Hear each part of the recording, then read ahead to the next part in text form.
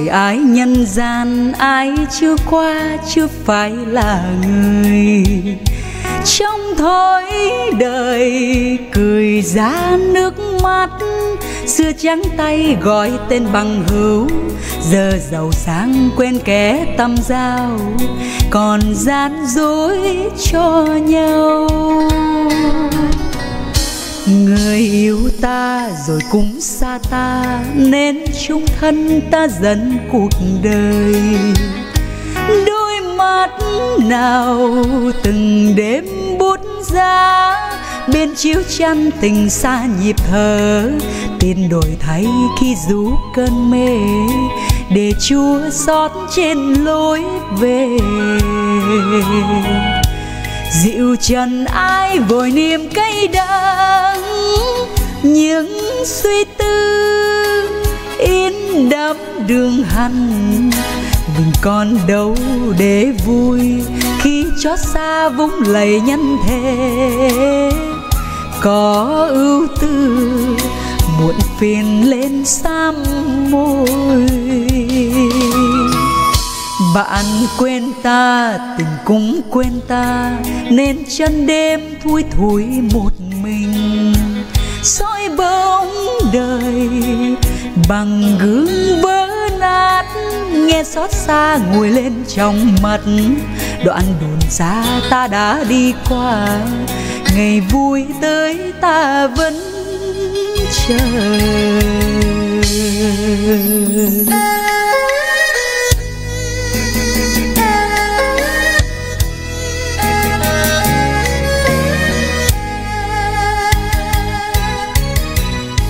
Đường thương đau đầy ai nhân gian, ai chưa qua chưa phải là người. Trong thối đời, cười ra nước mắt, xưa trắng tay gọi tên bằng hữu. Giờ giàu sang quên kẻ tâm giao, còn gian dối cho nhau người yêu ta rồi cũng xa ta, nên chung thân ta dần cuộc đời. Đôi mắt nào từng đêm bút giá bên chiếu chăn tình xa nhịp thở. Tin đổi thay khi rú cơn mê, để chúa gió trên lối về. Dịu trần ai vội niềm cay đắng những suy tư in đắm đường hằn. Mình còn ai đâu để vui khi chót xa vung lầy nhân thế có ưu tư muốn phiền lên xăm môi. Bạn quên ta, tình cũng quên ta, nên chân đêm thui thủi một mình soi bóng đời bằng gương vỡ nát, nghe xót xa ngồi lên trong mắt. Đoạn buồn xa ta đã đi qua, ngày vui tới ta vẫn chờ.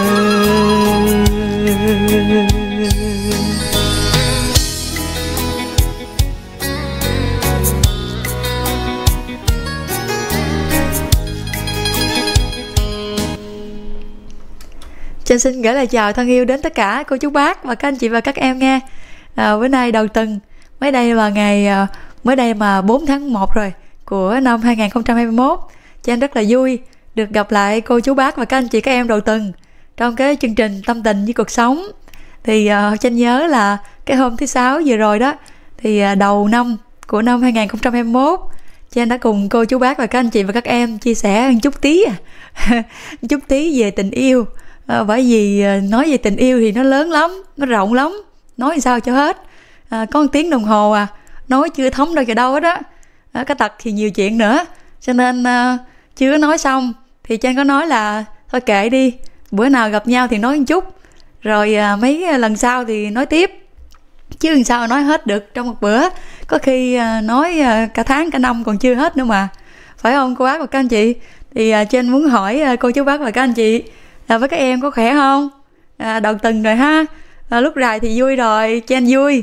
Bởi vì đầu tuần trên cũng được gặp cô chú bác và các anh chị và các em luôn. À, không có cần đợi tới thứ ba. Bởi vì à, hai ngày chủ nhật và thứ hai á mấy lần trước thì trên không có gặp cô chú bác và các anh chị thấy nhớ lắm. Bây giờ rút ngắn lại còn một ngày thôi. Tức là bây giờ trên à, chỉ nghỉ có ngày chủ nhật thôi. Thì ở bên việt nam là ngày thứ hai. Thì trên sẽ uh, có mấy cô chú hôm qua nhắn cho trên ở bên việt nam á nói ủa bữa nay thứ hai mà sao không thấy trên livestream? À, trên nói ở à, bên trên mới chủ nhật à, à bên à, bên việt nam thì đang thứ hai thì thứ ba mới gặp nhau được. À, cái mấy cô chú bác à, cười hì hì à. Nói ở vậy ngày mai gặp. À, trên à, ờ, rất là vui bởi vì à, bây giờ thì à, à, bớt nhớ lại một tí. Hai ngày không gặp thì nó nhớ. Anh ta nói là nó ghiền xì ke mà. Thì à, cô khỏe re hả? Dạ khỏe re là vui rồi. Ừ, khỏe re cho ơi à, khỏe khỏe ra như bò kéo xe. Cô chú bác và các anh chị biết không?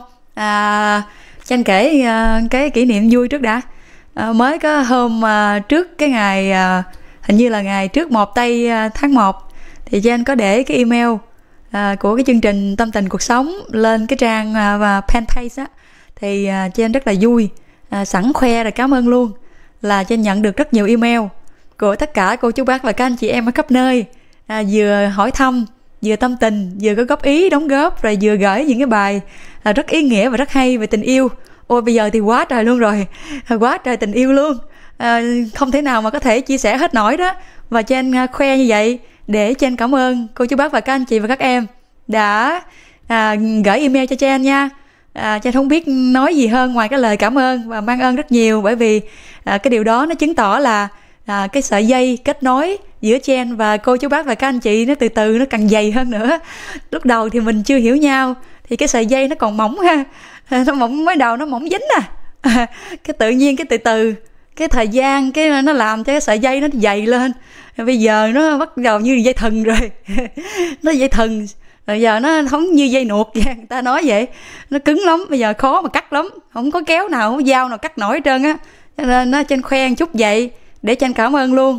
Với lại à, Chanh trên cũng nhắn luôn với những cô chú bác và các em nào mà trên chưa có trả lời email đó thì cho trên nợ bởi vì trên sẽ trả lời từ từ. Bởi vì à, để vậy cho nó nhớ chứ trả lời hết rồi thì mất công quên mình nữa à, à trên nhắn chút xíu vậy. Bữa nay thì à, mình cũng nói chút tí về tình yêu nữa. Tình yêu thì nói hoài đâu có hết đâu.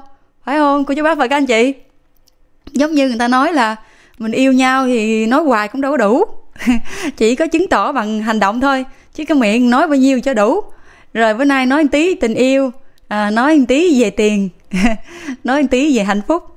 Tất cả những cái điều này nó đều rất gần gũi trong cuộc sống của à, cũng như bản thân cha và tất cả cô chú bác và các anh chị em luôn à, đã là kiếp người mà. Có ai mà thoát khỏi được những cái chữ đó đâu? Tiền tình phải không? À, đó là bình thường của cái kiếp người thôi không có cái gì nghiêm trọng hết trơn á. Nhưng mà mình cùng nhau, mình chia sẻ những cái điều hay lẽ phải trong cuộc đời này để cho cuộc sống mình nó tốt đẹp hơn thôi. Chứ còn tránh né thì không ai tránh được đâu. Cho anh từng nói rồi mà, mấy người mà phạm tội á, người ta nói lưới trời lồng lộng mấy người yêu nhau thì người ta nói lưới tình lồng lộng không có cái nào thoát khỏi hết á. Cái lưới lưới trời thì nó tuy thưa, nhưng mà khó thoát lắm nó không giống như cái lưới đánh bắt cá đâu. Nó lớn lắm nhưng mà không ai thoát khỏi hết trơn á. Và trong đó cũng có chen luôn. Bởi vì chen à, cũng là người phàm mắt thịt mà. Sao thoát khỏi được? Cho nên những cái gì gần gũi nhất á, thì chen thích chia sẻ với cô chú bác và các anh chị và các em. Bởi vì à, nó sẽ gắn liền với đời sống của mình. Và nó sẽ làm cho đời sống mình tốt đẹp hơn nếu mà mình cùng nhau chia sẻ những cái mà còn quẩn khúc ở trong cuộc sống này. Bởi vì cuộc đời mà không có ai suôn sẻ hết á nếu mà nói mà suôn sẻ từ lúc sanh ra mà tới lúc mà ra đi á, thì hiếm lắm. Cho nghĩ là cũng có đó, chứ không phải không, bởi vì có thể kiếp trước, họ làm rất nhiều việc thiện, cho nên à, kiếp này họ được suôn sẻ may mắn và hạnh phúc. Còn như bản thân Trang đây, mình đâu biết được, biết đâu kiếp trước cũng làm chuyện gì xấu đó. Làm chuyện gì không tốt, cho nên kiếp này còn phải trả nợ, nên à, đâu có thể nào suôn sẻ hết được. Và Trang cũng hiểu ra một điều rằng à, sau những cái mà mình dấp ngã đó những cái gì mà mình đã gặp đau khổ trong cuộc đời đó thì à, nó là một bài học để cho mình sáng suốt hơn.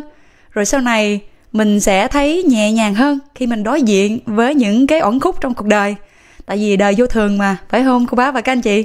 À, Chen rất là vui nếu mà cô bác và các anh chị vào cái trang livestream rồi cùng với Chen comment cho Chen chia sẻ tất cả những điều hay lẽ phải giống như lần trước cái ngày đầu năm á. Chen đã đọc lại tất cả những cái lời comment và mỗi một người định nghĩa một tình yêu khác nhau à, rất là tôn trọng bởi vì điều đó đúng thôi. Bởi vì tình yêu của mỗi người là khác nhau đâu có ai có thể giống nhau được. Và không có tình yêu nào mà copy được tình yêu nào hết á. Bởi vì anh khác em khác cô khác chú khác à, các em khác nhau. Mỗi một người đều có một tình yêu mà nó đều thiêng liêng cả. Bởi vì tình yêu là một tình cảm rất tốt đẹp và thiêng liêng. Chỉ có à, đôi khi à, khi mà nó nhiễm chút giống như à, tiền bạc vật chất địa vị thì nó làm cho cái bản chất tình yêu nó xấu đi thôi. Chứ thật sự ra xấu tốt gì là do chúng ta hết á. Chứ thật sự ra bản chất của đồng tiền nó cũng đâu có xấu. Nó đâu có gì xấu đâu. Nó là một tờ giấy thôi mà phải không? Nhưng mà khi nó nó vô tay của chúng ta thì nó trở thành xấu hay tốt là do chúng ta thôi.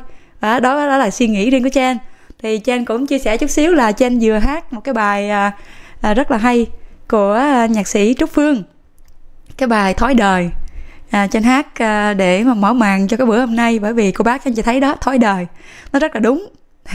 Giống như uh, sau này trên nghe mấy anh chị ghẹo là uh, đường tương chao đậu hũ dưa leo. Ai chưa ăn không phải thầy chùa đó à. Cái bài này rất nổi tiếng bởi vì nhiều người chế ra những cái câu rất là vui mà làm cho mình dễ nhớ nữa. Thì trên thấy cuộc đời của mình nó cũng nằm đâu đây ở trong cái bài hát của nhạc sĩ trúc phương. Thói đời mà hồi lúc mà mình nghèo á thì à, à, còn bạn bè bởi vì lúc đó thì cùng nghèo giống nhau. Nghèo giống nhau à. Nhưng mà giống như cái lời lời hát trong này đó à, xưa trắng tay thì gọi tên bằng hữu giờ giàu sang thì quên kẻ tâm giao. À, con người nó vậy đó cô bác và các anh chị. Và à, cha nói thì mình không có nói hết à nghe. À, mình à, mình chỉ cùng nhau chia sẻ những cái gì thực tế trong cuộc sống thôi. Chứ à, cuộc đời mỗi người đều có mỗi cảnh riêng. Ờ, mình không có phán xét ai cả. Mà mình chỉ cùng nhau lên tiếng ờ, để làm cho cuộc sống tốt đẹp hơn thôi. Chứ Chan ờ, Chan biết rằng có rất nhiều những người tốt trên thế gian này chứ không phải không đâu phải ai cũng xấu. Và cũng đâu phải ai cũng tốt hết. Cái gì cũng vậy không có hoàn hảo đâu cô bác và các anh chị. Còn cái thời mà nghèo đói á, thì Chan đã trải qua rồi. Ta nói hồi xưa ông bà mình nói là nó nghèo mạt riệp á. Không biết làm sao lại có cái từ mạt riệp nữa. Cô bác và các anh chị nào giải thích cho Chen được không? Chứ lúc mà Chen uh, à, nghe cha mẹ với ông bà ưa nói là trời ơi sao mà nó nghèo mạt riệp vậy ta? Không biết sao lại có cái chữ mạt riệp nhưng mà sau này Chanh hiểu được chữ mạt. Nghèo còn đỡ. Nhưng mà mạt là nó hơn nghèo nữa. Và Chanh đã trải qua rồi. Cái thời đó cả nhà của cha đều nghèo đều đói hết á. Và thật sự như cái bài hát thói đời vậy đó à, lúc đó thì không thấy đâu ai trơn á không bạn bè gì trơn á. Ta nói à, dòng họ cô chú bác anh chị gì cũng mất tiêu hết trơn à. Lạ lắm kỳ lắm mình cũng không hiểu được. Và lúc đó trên còn rất là nhỏ trên mới học chừng lớp 1, lớp 2 à. Là trên cũng hiểu được nghèo là như thế nào. Tại vì nhà nghèo quá đi tới đâu người ta cũng sợ mình hết á. Mình vô nhà của bác ruột của mình bác ruột mình cũng sợ mình hết, cũng sợ mình đi mượn gạo hay là đi xin đồ ăn. Cô bác anh chị có trải qua giai đoạn này chưa? Bởi vậy cha mới nói rằng, những cái gì mà cha em chia sẻ với cô bác và các anh chị, tất cả đều là những thực tế trong cuộc sống này. Và mình cùng nhau chia sẻ để cho cuộc sống tốt đẹp hơn thôi. Chứ mình không có đi nói, mình không phán xét ai cả. Bởi vì à, biết đâu, hồi kiếp trước mình làm gì xấu á, rồi kiếp này mình nghèo đúng rồi. Ai biểu mình làm xấu chi? Thôi, biết vậy thì tu tập đi à, để cho mai mốt cuộc sống à, nó không bị nghèo nữa. Vậy thôi chứ làm sao bây giờ? Á trên là vậy đó. Tất cả đều là bài học hết á và nói về cái đời nghèo á thì ui nó dài lê thê. Đó. chỉ dọn dạng 4 năm mà cho anh biết thế nào là đói. Nó nói đói lòi con mắt. Người ta nói đói lòi con mắt là có thiệt đó, cô bác và các anh chị. Phải chị sao biết không? Anh nhớ là cha đi học về đó, không có gạo gì ăn á, không có gì ăn hết á.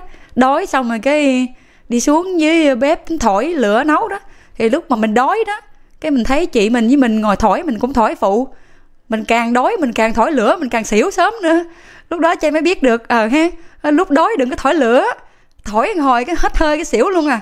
Xong cái lúc mà trên tỉnh dậy á, thì trên thấy là chị của trên ổng trên trên giường rồi. Lúc đó còn nhỏ lớp 2 cái chị có lại đút cho một cái chén uh, chén nước canh không à. Không có đâu có gạo đâu nấu. Cho nên cô bác anh chị biết không bốn năm trời như vậy gia đình của trên là ăn chuối không à. Giống như là có chuối sim á cái chuối sim mà còn sống á cái mình mài ra giống khoai mì vậy đó. Cái mình nấu đặt lại rồi ăn thay cà thay gạo thôi. Mấy năm trời như vậy đó. Cho nên cô bác các anh chị biết không? Những gì trên trải qua là trên đã thấu hiểu được từ nhỏ. Thế nào là nghèo và thế nào là phải bị khinh bỉ? Và khi mình nghèo á nó làm sao? Mình nghèo á thì người ta khi dễ mình. Cho nên từ lúc nhỏ mấy chị em của trên nói trong bụng rằng khi mà lớn lên á, á sẽ ráng mà học giỏi. Học giỏi để làm gì? Học giỏi để kiếm cái nghề cái nghiệp cho mình. Rồi tự mình làm ra tiền để người ta không khi dễ mình nữa. Thì lúc đó nghèo quá thì nghĩ vậy đó.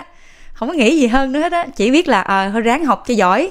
Để thấy cha mẹ mình cực quá thì mình ráng học cho giỏi đi rồi sau này mình để cho cha mẹ mình đỡ cực phần nào. Chỉ diễn vậy thôi. Rồi sau này từ từ cái dòng đời nó lớn lên.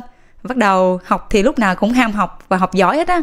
Rồi sau này từ từ từ từ. Cô bác và các anh chị biết không? Những cái gì nó trải qua nó đều là bài học trong cuộc đời của chan. Và chan tin rằng những cô chú bác ở trong cái buổi livestream của Chen cũng đã từng trải qua những giai đoạn đó rồi. Những giai đoạn mà phải ăn khoai mì khoai lang. Và Chen 4 à, năm trời gia đình của Chen không có một hột gạo nào cả. Và đi cũng trồng khoai vậy đó. Trồng khoai mì khoai môn khoai lang. Rồi mấy bữa trời mưa thì Chen với anh với Chen thì đi xuống suối bắt cua. Đó, đi bắt con cua về thì bắt đầu mẹ thấy cua thì bắt đầu mẹ nấu cháo ăn vậy đó. Nấu mà kiểu như nấu nước không vậy đó. Rồi đi lấy rau muống bào ra bào ra sau ngồi ăn mới hổm trên mới nhắc lại. Cho nói mẹ ơi sao mà nhớ là lúc đó ăn ngon quá vậy? Bây giờ thì rau muống ở bên mỹ cũng nhiều lắm. Không có không có cần phải khó khăn gì bên bên mỹ cho nên bây giờ cái gì cũng có hết á. Bất cứ đồ ăn gì ở nước nào cũng có hết á. Nhớ lại hồi xưa thì tại sao mà ăn ngon quá? Không có không có nước không có gạo gì á lỏng bỏng vậy á. Cứ bào khoai muống ra muống ra rồi bỏ vô cái nước mà nấu có cua. À, cua thì chen với anh của chen xuống suối mò. Ờ, mò vô hang bắt cua bởi vậy các bác anh chị thấy không? Tất cả những điều đó là những cái thực tế mà bữa nay thì mình sẽ cùng nhau chia sẻ là à, tình yêu tiền rồi hạnh phúc. Thì à, Jen sẽ kể cho cô bác anh chị nghe một câu chuyện trước. À, một cái câu chuyện này trên đọc rất lâu rồi. Là trên à, trên sẽ kể cho cô bác anh chị nghe rồi mình sẽ cùng nhau mình chia sẻ là có phải là mình có tiền mình à, có sắc là mình sẽ hạnh phúc không? Tiền có chắc được mua được hạnh phúc không? À, trên muốn kể cho các bác anh chị nghe câu chuyện này mà hôm nay đúng là một cái à, dịp à, một cái dịp để trên à, ngồi trên nhớ lại cái câu chuyện đó. Trên đọc rất lâu rồi trên một cái à, cái forum. Trong một cái forum thì lâu lâu tình cờ thì vô được một cái forum nào đó thì cái đọc được những câu chuyện mà những câu chuyện này có thật không à cô bác và các anh chị? Thì có một câu chuyện kể như vậy cho anh sẽ kể cho bác anh chị nghe. À, có một cô gái đó đó một cô gái đó đi lên cái uh, vô cái trang forum đó mới uh, viết cái tiểu sử của mình ra viết những cái à, ý của mình ra ý mình muốn là sẽ tìm được một người đàn ông giàu có để làm chồng. Thì cô bác các anh chị biết không? Cô viết vậy nè à tôi á tôi tôi những gì tôi sắp nói đó là tôi sự thật hết tôi không nói dối tôi 25 tuổi rồi tôi thật sự tôi rất có ngoại hình tức là cô ấy nói là cô ấy rất đẹp. Và tôi có một cái phong cách riêng. Tôi cũng có cái khiếu thẩm mỹ ừ, rất là cao. Và tôi muốn cưới một anh chàng phải có thu nhập từ 500 ngàn đô à, mỗi một năm trở lên. Đó là tiêu chuẩn tôi đặt ra. Thì à, cái cô đó viết tiếp là bạn có thể nói tôi là người tham lam cũng được nữa nhưng mà cái mức lương một triệu đô mỗi năm thì chỉ được coi là tầng lớp trung bình ở cái thành phố New York mà thôi yêu cầu của tôi cũng đâu có gì cao. Có ai trong cái forum này mà thu nhập hàng năm khoảng 500 ngàn đô không? À, trong số các bạn có ai lập gia đình chưa? Tôi muốn hỏi là tôi phải làm gì để tôi lấy được một ông chồng giàu như các bạn? Thì trong số những anh chàng mà tôi hẹn hò anh giàu nhất thì cũng chỉ có mức lương khoảng 250 ngàn đô à. Đối với tôi thì mức lương này là quá thấp. Nếu như ai đó trong cái forum này đang có ý định chuyển đến một căn hộ cao cấp ở phía tây New York Garden á, thì mức lương này thật sự là không đủ chi tiêu đâu. Thì tôi đặt ra những câu hỏi này cho các bạn, rồi các bạn tham khảo xong rồi trả lời lại cho tôi nhé. Thì cô đặt ra câu hỏi rằng, câu thứ nhất, những anh chàng giàu có thường hay đi chơi chỗ nào? Làm ơn liệt kê ra hết những chỗ các bạn đi nghe, quán bar, nhà hàng, phòng tập thể dục, vân vân. Thứ hai là, tôi nên nhắm đến những độ tuổi nào đây cho tôi lời khuyên nghe? Thứ ba là tại sao hầu hết mấy bà vợ của các đại gia có nhan sắc rất trung bình? Tôi từng tiếp xúc với vài người trong số họ rồi họ chẳng xinh đẹp gì cả mà cũng không có gì thú vị đó nhưng họ lại cưới được một anh chàng giàu có. Rồi câu thứ tư cô ấy nói rằng các bạn dựa vào những tiêu chuẩn nào để chọn vợ vậy? Và những người nào chỉ có thể làm bạn gái của các bạn thôi? Mục tiêu của tôi bây giờ không phải là kiếm bạn trai tôi bây giờ là tôi lấy chồng. Sau đó cô ta ký tên là uh, Miss À, uh, Retty uh, à, Retty là cái giống như tự nói là mình xinh đẹp á. Thì cô bác anh chị biết không? Đây là câu chuyện có thật. Và trên kể cho cô bác anh chị nghe bởi vì chúng ta đang nói về tình yêu tiền và hạnh phúc. Thì à, có một cái người đó là CEO của tập đoàn à, tập đoàn à, JP Morgan. Thì cô anh ta mới trả lời cho cô gái rằng tôi đã đọc bài viết của bạn và cảm thấy cũng rất thích thú tôi đoán có rất nhiều cô gái cũng có những câu hỏi tương tự như bạn như vậy đó. Xin cho phép tôi được phân tích tình huống của bạn với tư cách của một nhà đầu tư. Trước hết, mức thu nhập hàng năm của tôi là hơn 500.000 đô la một năm. Đáp ứng được nhu cầu của bạn rồi ha. Vì thế, hy vọng mọi người không nghĩ rằng tôi đang phí thời gian trong cái forum này. Đứng dưới một góc độ của một người doanh nhân, một người có tiền, tôi nghĩ cưới bạn thì quả thật là một quyết định vô cùng thiếu sáng suốt. Câu trả lời rất đơn giản. Hãy để tôi giải thích cho bạn hiểu nha. Gạt qua những chi tiết linh tinh khác, rõ ràng bạn đang cố gắng trao đổi nhan sắc để lấy tiền. A thì có nhan sắc và b thì trả tiền để mua nó. Công bằng và sòng phẳng, phải không? Tuy nhiên, cái vấn đề mấu chốt ở đây là nhan sắc có thể phai tàn theo năm tháng. Nhưng tiền đầu tư thì nó không có như vậy thực tế phủ phàng là thu nhập của tôi tăng dần qua năm tháng, còn bạn thì không có thể nào một ngày mà bạn đẹp lên được. Vì thế, nếu xét cái góc độ kinh tế mà nói đó, tôi là một nhà, một người có tài sản luôn luôn tạo ra giá trị gia tăng, còn bạn chỉ là một tài sản, nó sẽ từ từ hao mòn. Hơn nữa, không phải là hao mòn bình thường rồi nha, mà là hao mòn theo cấp số nhân nữa à nếu đó là tài sản duy nhất của bạn có, thì giá trị của bạn sẽ giảm đi rất nhiều, chỉ sau một vài năm mà thôi nếu so sánh với các phiên giao dịch trên phố Wall, thì cái việc tôi hẹn hò với bạn cũng như là phiên giao dịch vậy đó. Nếu giao dịch bị giảm giá, thì tôi sẽ bán. Chẳng ai ngốc đến mức giữ nó trong một thời gian dài, cũng như việc kết hôn vậy đó. Có thể bạn nghĩ tôi thật giả man khi nói ra những điều này, nhưng một tài sản mà có giá trị, khấu hao lớn như vậy thì tốt nhất phải bán hoặc là cho thuê thôi bất kỳ người đàn ông nào có thu nhập 500 ngàn đô mỗi năm đều không phải là những gã ngu. Chúng tôi chỉ hẹn hò với bạn, nhưng chúng tôi sẽ không cưới bạn. Tôi khuyên bạn hãy quên chuyện tìm cách lấy chồng này đi nghe. Thay vào đó, hãy tự kiếm cho mình một khoản thu nhập 500 ngàn đô mỗi năm để trở thành một người đại gia. Việc này có nhiều cơ hội thành công hơn so với việc tìm một thằng giàu mà nó ngu đó. Thân ái, tổng giám đốc ngân hàng. JP Morgan. Cô bác và các anh chị biết không? Đây là một cái câu chuyện à, có phiên bản là tiếng Anh và nó đăng tên trên cái tờ Elite Daily. Và Jen ờ, đã dịch nó ra à, bằng cái Google dịch. Thì Chen nghĩ nó cũng dịch đúng đó dịch chính xác. Và Chen chia sẻ với câu chuyện câu chuyện này cho cô bác và các anh chị thấy rằng cô bác và anh chị thấy không? À con người mình á thật sự ra Chen ờ, rất là hiểu. Chen rất hiểu là cái thời bây giờ nó không như ngày xưa ngày xưa thì à, à, trên uh, uh, đọc được những cái cuốn sách ngày xưa ông bà mình dạy đó thì cha mẹ đặt đâu con ngồi đó thì cũng lựa môn đăng hộ đói chứ không phải không. Nhưng mà cái thời xưa thì hôn nhân nó khác bây giờ. Bây giờ là thế kỷ 21 rồi thì à, con người suy nghĩ nó phóng khoáng hơn rất nhiều. Và bây giờ thì giới trẻ cũng vậy nó đã bước vào cái kỷ kỷ cái kỷ nguyên mà đã quá phát triển rồi. Đâu phải như hồi xưa mà cha mẹ đặt đâu con ngồi đó. bắt buộc mình phải lấy ai đó rồi làm mai làm mối. Bây giờ thì tự các cô và các anh đều có thể lên mạng để tìm hiểu nhau rồi tự quen nhau chứ không có đợi cha mẹ đặt đâu nằm đó nữa đâu. Và giờ hiếm lắm cha mẹ có đặt con cũng chưa chắc chịu phải không cô bác anh chị? À, chứ bây giờ là th- cái thời mà ta nói hiện đại mà như người xưa đâu mà bắt buộc mà cái thời phong kiến cổ hủ nữa. Hồi xưa thì quá nhiều chuyện hồi xưa là có khi nghèo quá phải gả cho cái gia đình nào đó để cho nuôi cơm bớt. Hoặc là thôi à, con dựa dẫm vô gia đình đó để nhà mình được nhờ. Tao nói đủ thứ chuyện hết á. Còn bây giờ thì các cô bây giờ hiện đại lắm. Không cần phải dựa vào ai hết á. Chỉ cần dựa vào cái khi à, nhan sắc cũng có khi là có khi tài trí cũng có có những người cũng rất thông minh có những người cũng rất thành đạt trong xã hội này. Và họ càng thành đạt bao nhiêu á cho để ý á, họ càng thành đạt bao nhiêu họ càng có nhan sắc bao nhiêu thì họ luôn đặt ra một cái tiêu chuẩn cao bao nhiêu. Tại vì thời này không như ngày xưa. Ngày xưa thì à, à, bây giờ thời giờ sao phải không? Ta nói sao? Hồng nhan hay là bạc triệu. Trên nghe mấy cô chú ghẹo vậy chứ không phải hồng nhan bạc phận như ngày xưa nữa đâu. Cho nên cái này là thực tế.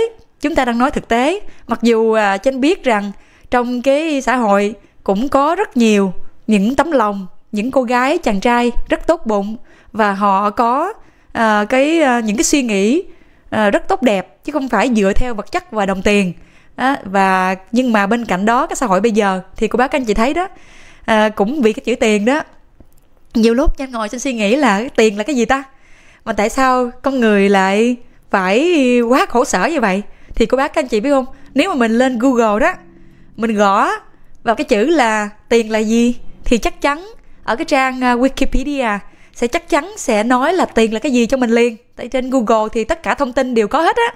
Và đơn giản là trên đọc được trên cái trang wikipedia đó thì tiền chỉ là một cái một cái uh, cái vật ngang giá chung tức là có có cái tính thanh toán cao nhất dùng để trao đổi lấy hàng hóa và dịch vụ uh, để mà trao đổi qua những cái hàng hóa mà có giá trị tài sản tương đương đó như là vàng ờ, kim loại trái phiếu ngoại tệ gì đó gọi chung hết là như vậy. Cho nên à, tiền chỉ là một cái chuẩn mực chung để mà dùng để so sánh các giá trị của một dịch vụ nào đó, một phương tiện thanh toán trên ờ, cộng đồng và được cả, được con người công nhận. Thì ờ, thì nghe thì có tính chất chung chung. Nhưng mà cô bác anh chị biết đó, thì ngày xưa ngày xưa cái thời ăn lông ở lỗ, cái thời mà còn ờ, thô sơ đó, thì người ta đâu có đồng tiền, đâu có, người ta chỉ trao đổi bằng cách là ừ giống như là tôi thì có uh, cái con uh, con con uh, con nai đi. À, tôi có con nai tôi đổi anh à, một bao lúa được không? Người ta chỉ lấy vật chất để trao đổi qua lại thôi. Thì uh, sau này khi mà đồng tiền nó ra đời rồi á, thì mới đầu đồng tiền nó mới có cái giá trị nó tương đương với cái vật ngang giá để mà mình có thể mua bán trao đổi thôi. Đó đơn giản tiền là vậy thôi đó. Chứ có cái gì đâu. Đâu có mãnh lực gì đâu dữ dội. Nhưng mà bây giờ lạ lắm cô bác anh chị. À, riêng bản thân của đồng tiền nó cũng có tội lỗi gì hết á nó chỉ là một cái tờ giấy có hai mặt thôi. Và trên cái đồng tiền đó nó có cái giá trị. Ví dụ như một ngàn hai ngàn mười ngàn một trăm đô vậy thôi. Nhưng mà nó lại có mãnh lực ghê gớm trong tay của con người. Phải không cô bác anh chị? Cô bác anh chị thấy không? Khi mà tình yêu à, đi tìm một cái người để mà mình lấy nhưng mà đặt cái cái mục đích là tiền lên trên á thì chắc chắn rằng đối với Chen thì sẽ đặt lại cái câu hỏi liền. Nếu mà Chen là cái người đàn ông á khi đọc được cái lời tâm sự của một cô gái xinh đẹp này, thì Jen cũng, Jen không cần biết Jen là đại gia hay không. Jen cũng đặt một câu hỏi rồi.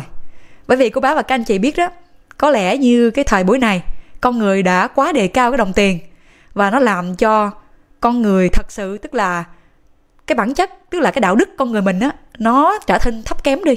Và nó lấy cái thước đo, lấy đồng tiền làm thước đo của giá trị con người. Cho nên đây là một cái thực tế mà Chen tin rằng cô chú bác và các anh chị à, cũng nhìn thấy chứ không phải riêng gì Chen đâu.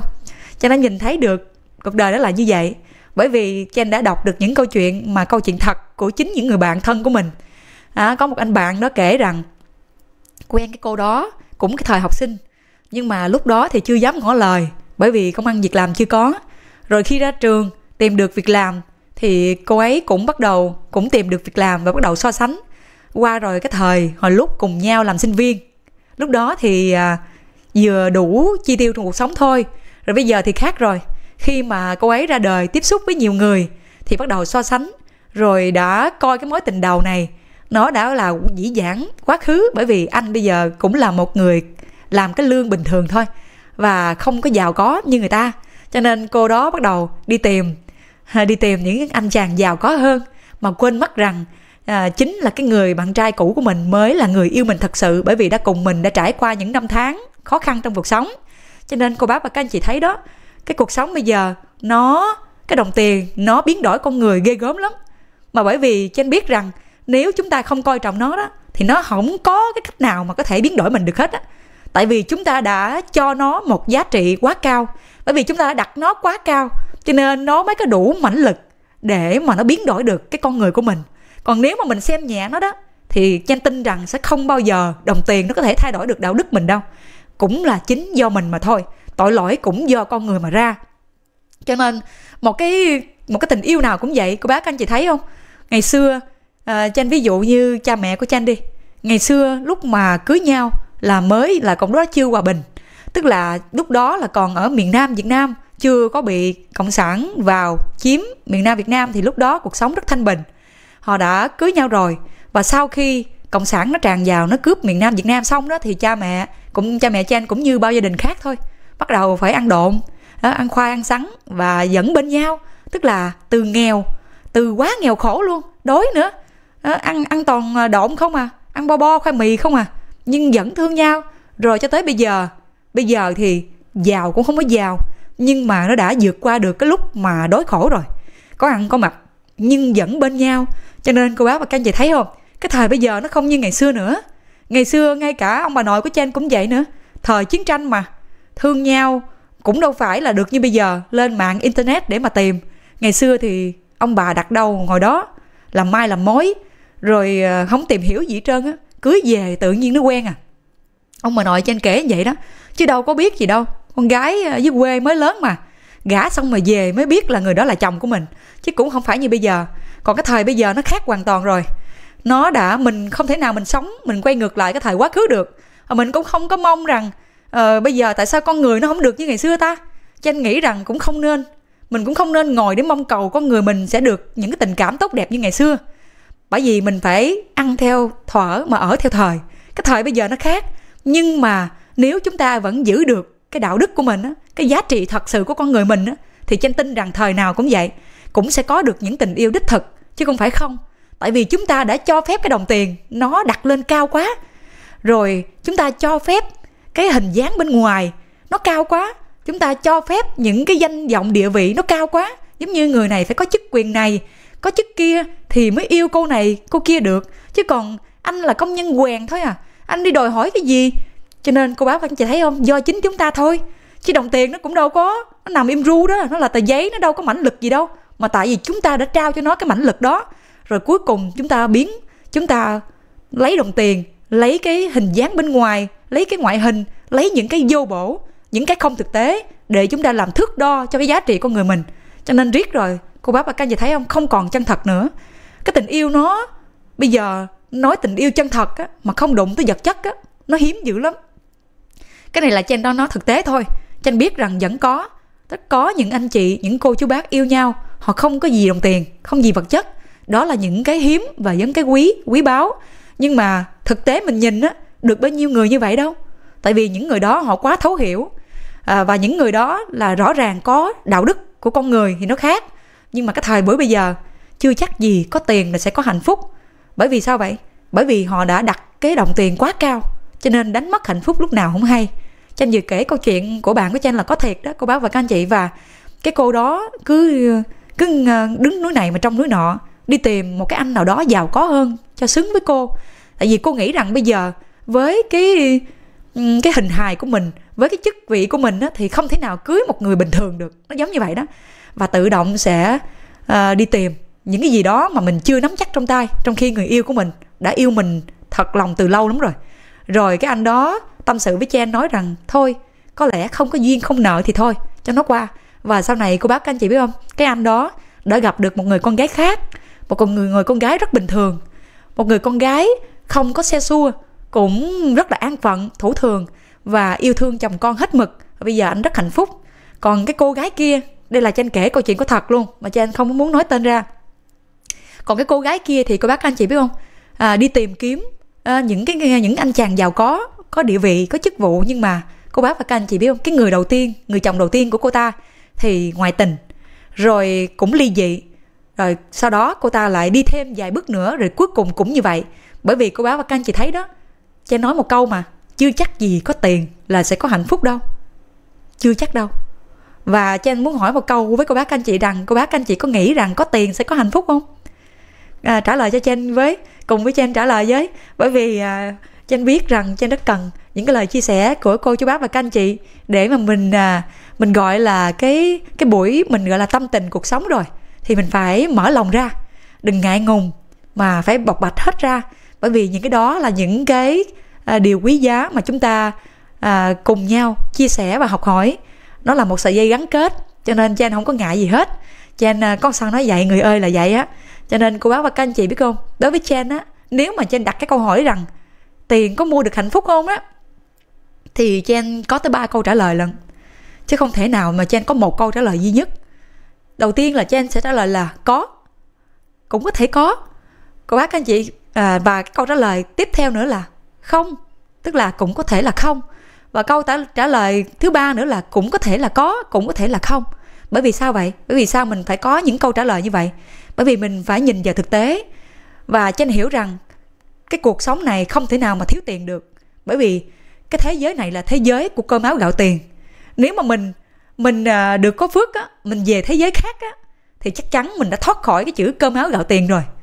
Tại vì cái thế giới những cái thế giới mà Chen không có dám nói ra bởi vì Chen à, không có gì để chứng thực nên Chen không dám nói. Và Chen chỉ chia sẻ với cô bác anh chị bằng cái lòng thật của mình thôi. Và Chen nghĩ rằng có một cái thế giới nào đó nó tốt đẹp lắm. Và cái nơi đó nó không phải có cơm áo gạo tiền tức là con người không cần phải à, tranh đua đấu đá nhau để kiếm à, từ đồng từ cắt. Rồi bắt đầu họ tranh giành họ chà đạp nhau để kiếm cái địa vị danh vọng mà chân tinh có thế giới đó tồn tại. Cho nên chúng ta đang ở thế giới này thì chúng ta không thể nào thoát khỏi cái chữ cơm áo gạo tiền cả.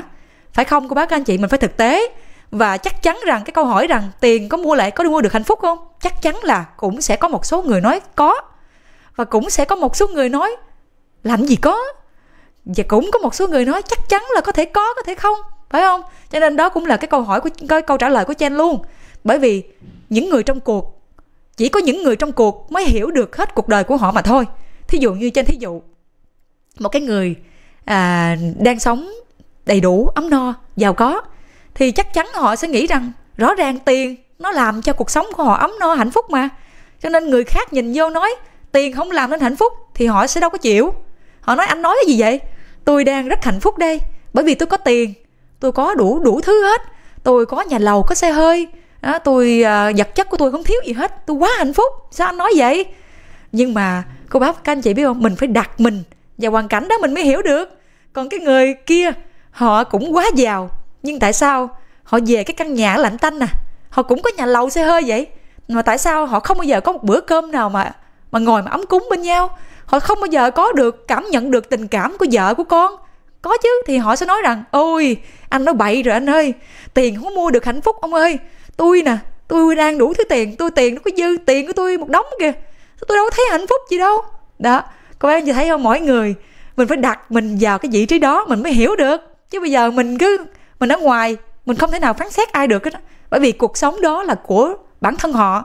À, chỉ có mình biết rõ mình thôi. Còn như đối với Chen á cô bác và các anh chị biết không? Không có tiền sao mà sống? Mình phải thực tế à. Chắc chắn là mình phải kiếm tiền, mình phải làm, mình phải đi làm để kiếm ra những đồng tiền để nó chi? Để nó phục vụ cho cuộc sống mình. Cái đó nó khác hoàn toàn và chắc chắn mình sẽ hạnh phúc. Bởi vì mình đặt cái mức độ của đồng tiền là sao? Nó chỉ là một cái phương tiện để nó phục vụ cho cuộc sống cho mình hạnh phúc mà thôi. Chứ tiền nó không mua được hạnh phúc mà nó chỉ là một trong những cái phương tiện để làm cho cuộc sống mình hạnh phúc hơn. Cho nên cô bác anh chị thấy không?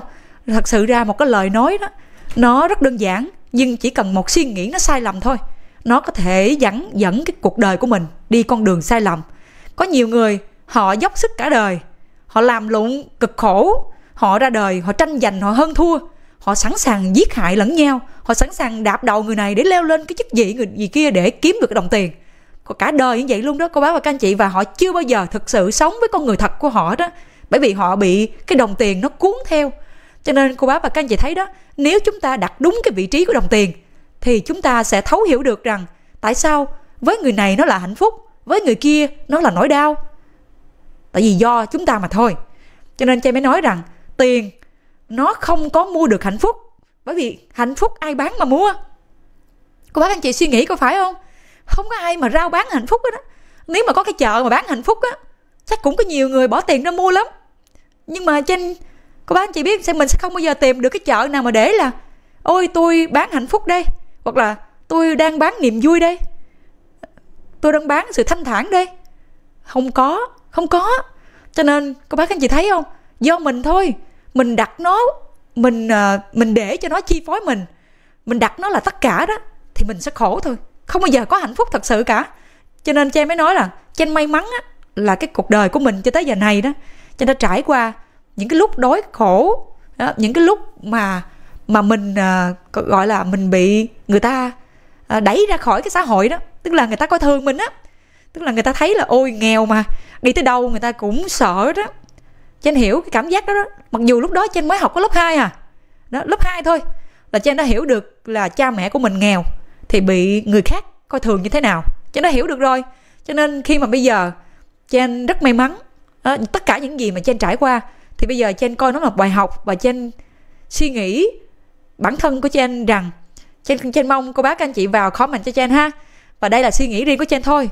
Và chúng ta đang sống ở một cái cái thế giới cơm áo gạo tiền thì chúng ta không thể nào mà có thể tách ra chúng ta không nói là không cần tiền được. Mình nói vậy là mình mơ màng không thực tế. Chúng ta cần có tiền để sống. Và chúng ta phải coi nó chỉ là một phương tiện để sống mà thôi chứ không phải là mục đích để sống. Một khi mà coi nó là mục đích rồi đó, thì cô bác và các anh chị biết không, mình sẽ tìm đủ mọi cách để mình đạt được cái mục đích đó. Thì có khi có khi cuối đời, mình cũng không biết hạnh phúc nằm ở đâu luôn. Bởi vì sao vậy? Bởi vì cứ nhìn thấy, nhìn chỗ nào cũng là chữ tiền hết. Cứ đi tìm nó không à. mà mặc dù nó chỉ là tờ giấy thôi, nhưng mà chúng ta coi trọng nó quá. Chúng ta đã bỏ qua mất rất là nhiều thứ trong cuộc đời này. Chúng ta cứ đổ xô vào kiếm tiền. Chúng ta không cần lo biết sức khỏe gì cả ôi, mỗi tháng cứ tiền vô tiền vô là được. Cứ cứ mà coi đâm đầu vào nó, thì chắc chắn rằng bây giờ cho tới chết luôn. Cô bác và các anh chị biết không? Sẽ không bao giờ có được một chữ hạnh phúc, một chữ thanh thản và bình an nào cả. Tại vì chúng ta đã để cho cái đồng tiền nó chi phối mình. Và đối với Chen nó chỉ là một phương tiện để sống. Một phương tiện thì chắc chắn nó sẽ có thể giúp mình hạnh phúc đó. Nó giống như là tất cả những phương tiện khác. Các bác anh chị nghĩ đi, nhà thì ai mà không muốn nhà đẹp? Có ai muốn ở nhà lá sụp sệ đâu. Rồi chạy xe. Có ai muốn chạy xe xe giống như nói theo kiểu bình dân á. Có ai muốn chạy xe kiểu là bèo đâu. Nói chữ bèo cho nghe gần gũi. Tại vì ai cũng muốn ờ, cái xế xịn đó đó ờ, đâu bây giờ thời buổi này mà đi cua ghệ mà anh đạp chiếc xe đạp cà tàng á anh cua cái gì anh? Đó nó khổ vậy đó các anh chị. Và anh ít nhất thì à, có cho thấy nhiều người nha. Mặc dù á, mình không có giàu có gì nhưng mà để đi cua ghệ bắt đầu đi mượn. Đi mượn xe cho đẹp, rồi mượn bộ đồ día mặc vô. Mượn tiền rồi bỏ túi cho nó cộm cộm chút rồi để đi cua. Có anh thấy không? Cái thời đại này nó ghê gớm lắm. Thời đại này con người đã quá đặt nặng cái vật chất, cho nên rốt cuộc rồi tôi không thấy đâu là thật hết. Tôi không thấy đâu là tình cảm thật sự hết á. Giống như cái cô đó, anh ờ, anh quen mà anh ờ, anh anh anh bèo quá vậy trời ơi, anh đi xe cà tàng với anh? Thời buổi này người ta đưa học sòn đô la được không à? Anh đi cua em kiểu này, về suy nghĩ nói nè, thôi, đừng quen cha này. Trời đất ơi, thời buổi này mà chả đi xe đạp, mà đi xe đạp bèo nữa chứ. Rồi xài tiền, trời, tiền lẻ không à. Đi vô quán thì vừa lựa cái quán cốc trời đất ơi, nó bèo. Trời ơi, thời buổi này người ta phải đi ăn nhà hàng, sang trọng, ta phải mặc đồ hiệu, đeo đồng đồng hồ rolex rồi chứ trời ơi chạy ít h ít nhất cũng phải ít h rồi chứ. Rồi xe hơi thì cũng phải ít nhất thì cũng phải bmw đồ. Trời bèo quá mà cua cái gì. À, các bạn chị thấy không? Rồi rốt cuộc rồi tình cảm thiệt nằm đâu? Không bao giờ có hết á. Những người nào á mà cứ cuốn theo chạy theo đó đó cô bác anh chị biết không? Khi mà mình thỏa mãn họ xong rồi đó tức là mình cho họ hộp xoàn mình cho họ xe hơi mình cho họ tất cứ bất cứ cái gì mà họ có nó cũng bắt đầu nảy sinh cái khác à. Bởi vì người ta nói lòng tham của con người nó không có đáy cái túi tham của một con người á cô bác anh chị biết không? Mình càng à, mình càng bỏ vô càng nhiều á, thì bắt đầu nó càng thụng xuống nó càng giãn ra. Rồi con người sẽ không biết lúc nào ngừng lại cứ bỏ vô bỏ vô cái túi tham đó. Cho nên rốt cuộc rồi chưa chắc gì có tiền mà có hạnh phúc à. Chưa chắc gì có tiền mà mua được một tình cảm chân thật. Cho nên cha mới nói rằng bây giờ cái thời buổi này đó mà yêu nhau á mà đừng nói tới chỉ tiền bạc vật chất á nó hiếm lắm. Nó có chứ không phải không? Chen biết có những anh chị bạn của Chen luôn họ sống với nhau rất yêu thương nhau mặc dù cuộc sống lúc nào cũng phải tần tảo hết á. Chưa bao giờ họ cảm thấy dư giả nhưng tại sao họ vô cùng hạnh phúc? Vì sao vậy cô bác các anh chị? Bởi vì họ không có coi trọng vật chất. Cho nên à, những cái gì mà những cái tình cảm mà người ta quan tâm nhau nè chia sẻ chăm sóc nhau những lúc mà ốm đau đó cái tự động là họ thấy hạnh phúc rồi. Chứ không cần phải từng ngồi trên đống vàng ngồi anh phải đưa em hột sòn thì em mới thấy hạnh phúc.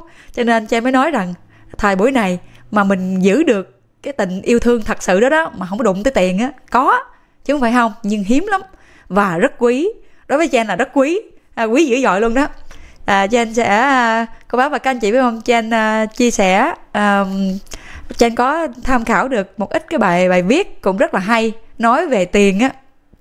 Thì à, theo như à, những cái cái thống kê đó thì có nhiều người cũng hỏi rằng có nhiều người nói rằng tiền chắc chắn sẽ mua được hạnh phúc thì đối với cô bác các anh chị các em có tin câu nói này không?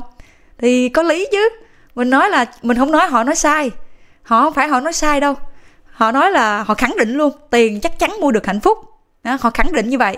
Nhưng mà Chen cũng không khẳng định là họ sai. Họ cũng có cái đúng của họ đó. Mặc dù cô bác và anh chị biết không mình phải ngồi với nhau để phân tích ra tiền có chắc chắn mua được hạnh phúc không? Mình phải cùng nhau mình nói mình chia sẻ ra. Chứ mình không có nói là họ nói sai bởi vì ai cũng thường được nghe, tiền thì khó mà mua được hạnh phúc lắm. Nhưng có người thì nói tiền có thể mua được hạnh phúc chứ sao không? Nhưng mà cô bác và các anh chị biết không? Tiền nó không thể mua được một hạnh phúc thật sự. Trên khẳng định như vậy, bởi vì không ai bán mà mua. Và tiền cũng không thể nào mua được một tình cảm, một tình yêu thật sự. Tại vì cũng không có ai bán cái đó để mua. Thật sự là như vậy. Cho nên, nếu mà nói có những người họ đang sống ở trong à, nhung lụa đó họ đang sống ở trong à, trong cái lúc mà dư giả đó, nhiều tiền á. Thì đối với họ thì tiền là chắc chắn là đem lại hạnh phúc cho họ rồi. Bởi vì sao vậy? Bởi vì họ lấy tiền đó, họ đi sắm sửa vật chất cho họ nè. Họ đi mua cái gì cũng được. Học xoàn xe hơi, họ đi shopping, họ mua hàng hiệu không à. Cái họ về, họ nhìn thấy cái tủ đồ của mình, trời ơi, đồ hiệu không à. Sao không vui được? Trời, quá hạnh phúc. Cho nên chắc chắn mình nói với họ là, trời ơi, tiền sao mua được hạnh phúc? Họ nói là bậy tiền mua được hạnh phúc nè, thấy tôi không? Tôi xài đồ hiệu không? Tôi quá hạnh phúc, sao anh nói vậy? Cho nên cô bác và các anh chị biết không? Thật sự ra cha mới nói rằng mình không có nói, họ nói sai. Không ai sai, ai đúng hết á. Mà chỉ có một cái duy nhất là chúng ta phải lựa chọn cho mình một thái độ rất đúng đắn, một suy nghĩ đúng đắn để mà mình tìm được hạnh phúc đích thực của cuộc đời mình.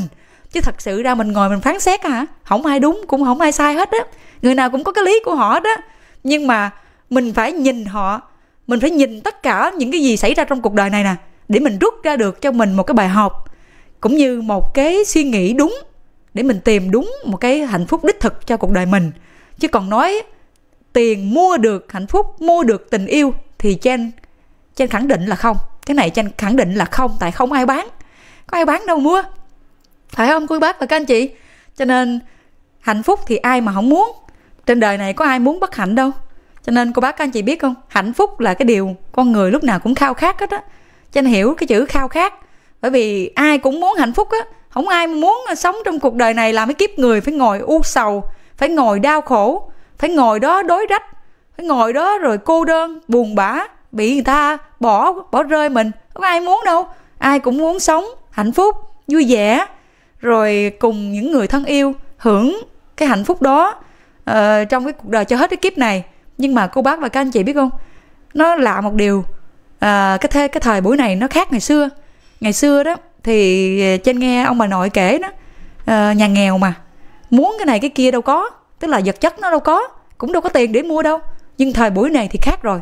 Thời buổi này á nếu mà mình không có vật chất á thì nó nhiều người nói rằng hạnh phúc nó không tồn tại được.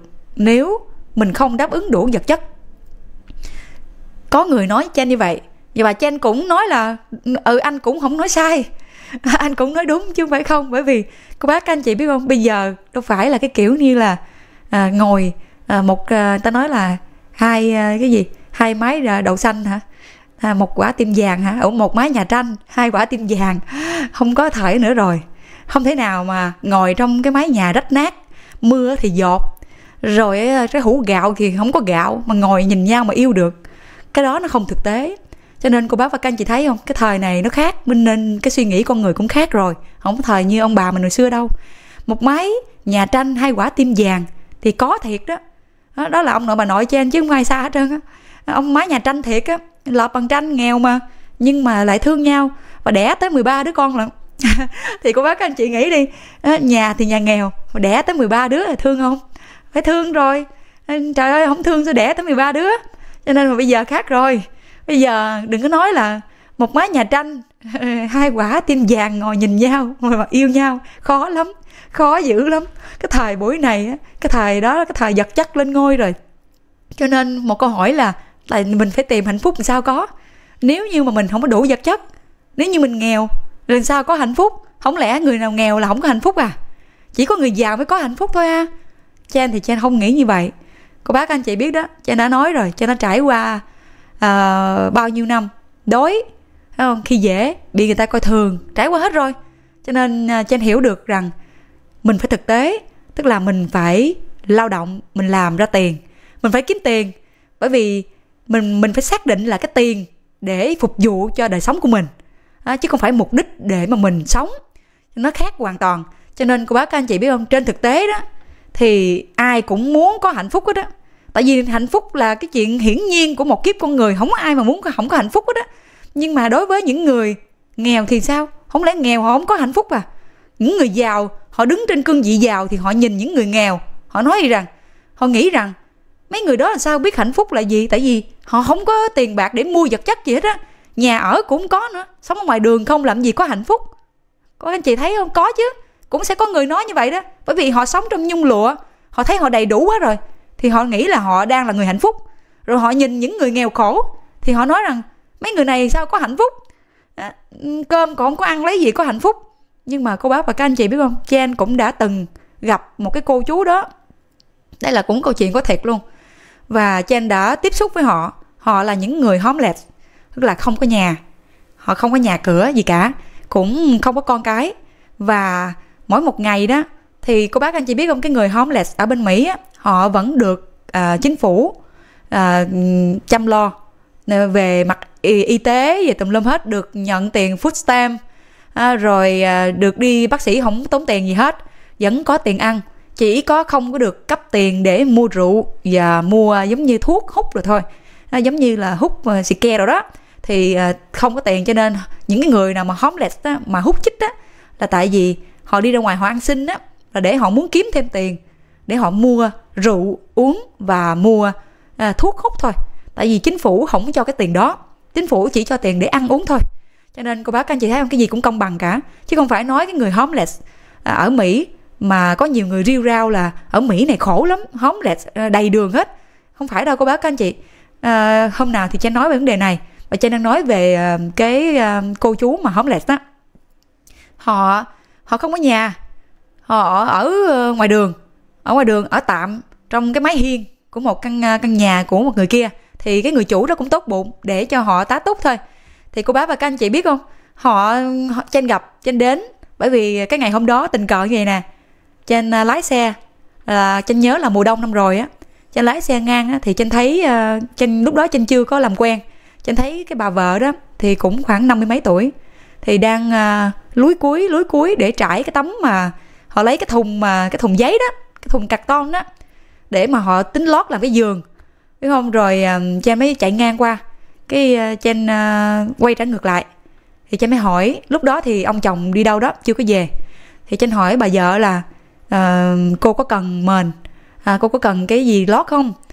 Tại vì cha muốn hỏi trước ở đây ở sống ở mỹ này mình không có quyền đến gần người ta để làm gì hết mình phải hỏi hỏi người ta con người ta có đồng ý cho mình tới gần không? Các bác anh chị biết không? Thì uh, mới hỏi thì bà rất là vui. Bà nói là bà cần lắm. Thì Jen mới nói rằng à, chị cô cứ ở ngay chỗ này đi. Cô đừng đi đâu hết là nghe. Thì con quay lại là con kiếm cô mới được à. Tại cô bác anh chị biết không? Ở bên Mỹ mà. Không phải như đi bộ là là tới đâu. Mình phải lái xe. Xa gần gì cũng lái năm 10 phút là cũng xa đó. Thì xong cái Chen mới quay về nhà. Thì à, ở à, lúc nào nhà của Chen á cũng có những cái mền gối Ờ, để mà extra đó để dư ra đó cho khách đồ tới đó thì à, uh, Chen mới về Chen lục hết ra.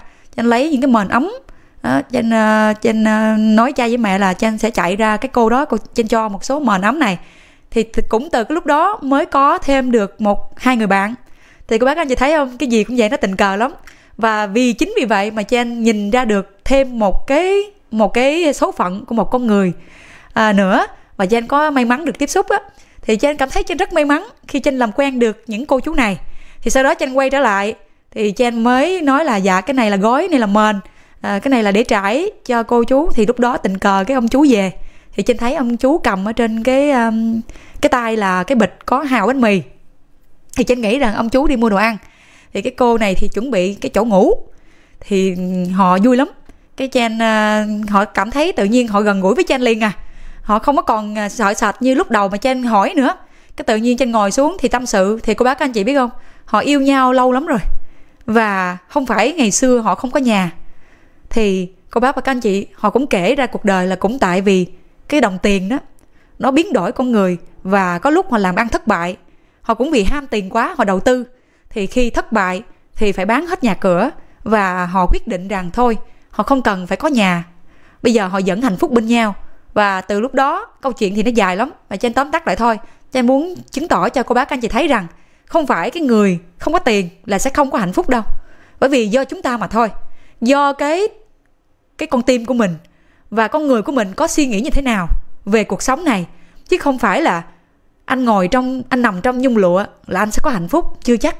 Có những người, họ là những người homeless, không có nhà cửa gì cả, không có tài sản gì cả, cũng không có được con cái luôn nhưng tại sao họ vẫn có nụ cười trên môi và nhìn họ có một vẻ vô cùng thanh thản?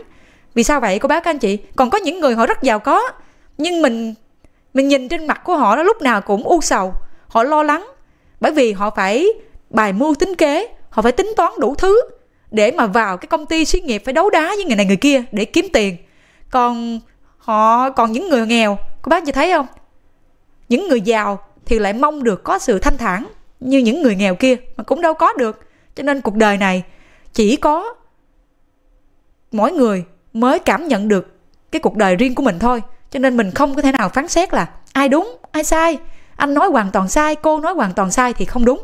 Và trên á thì trên may mắn á à, phải nói là rất may mắn trong cuộc đời này cho tới giờ này. Trên đã gặp được rất nhiều người có đủ mọi hoàn cảnh khác nhau à, đủ mọi trường hợp hết và Chen cũng gặp luôn những người à, mà những người đàn ông mà họ cũng là những người có địa vị trong xã hội những người rất giỏi những người cũng có tiền tài cũng có cũng có nhờ tài sản cũng là giàu đó. Rồi cũng có những người nghèo có những người không làm được trò trống gì cũng có luôn. Trên coi đó là may mắn tại vì có những cái đó mình mới học ra những bài học. Cho nên cô bác và các anh chị biết không?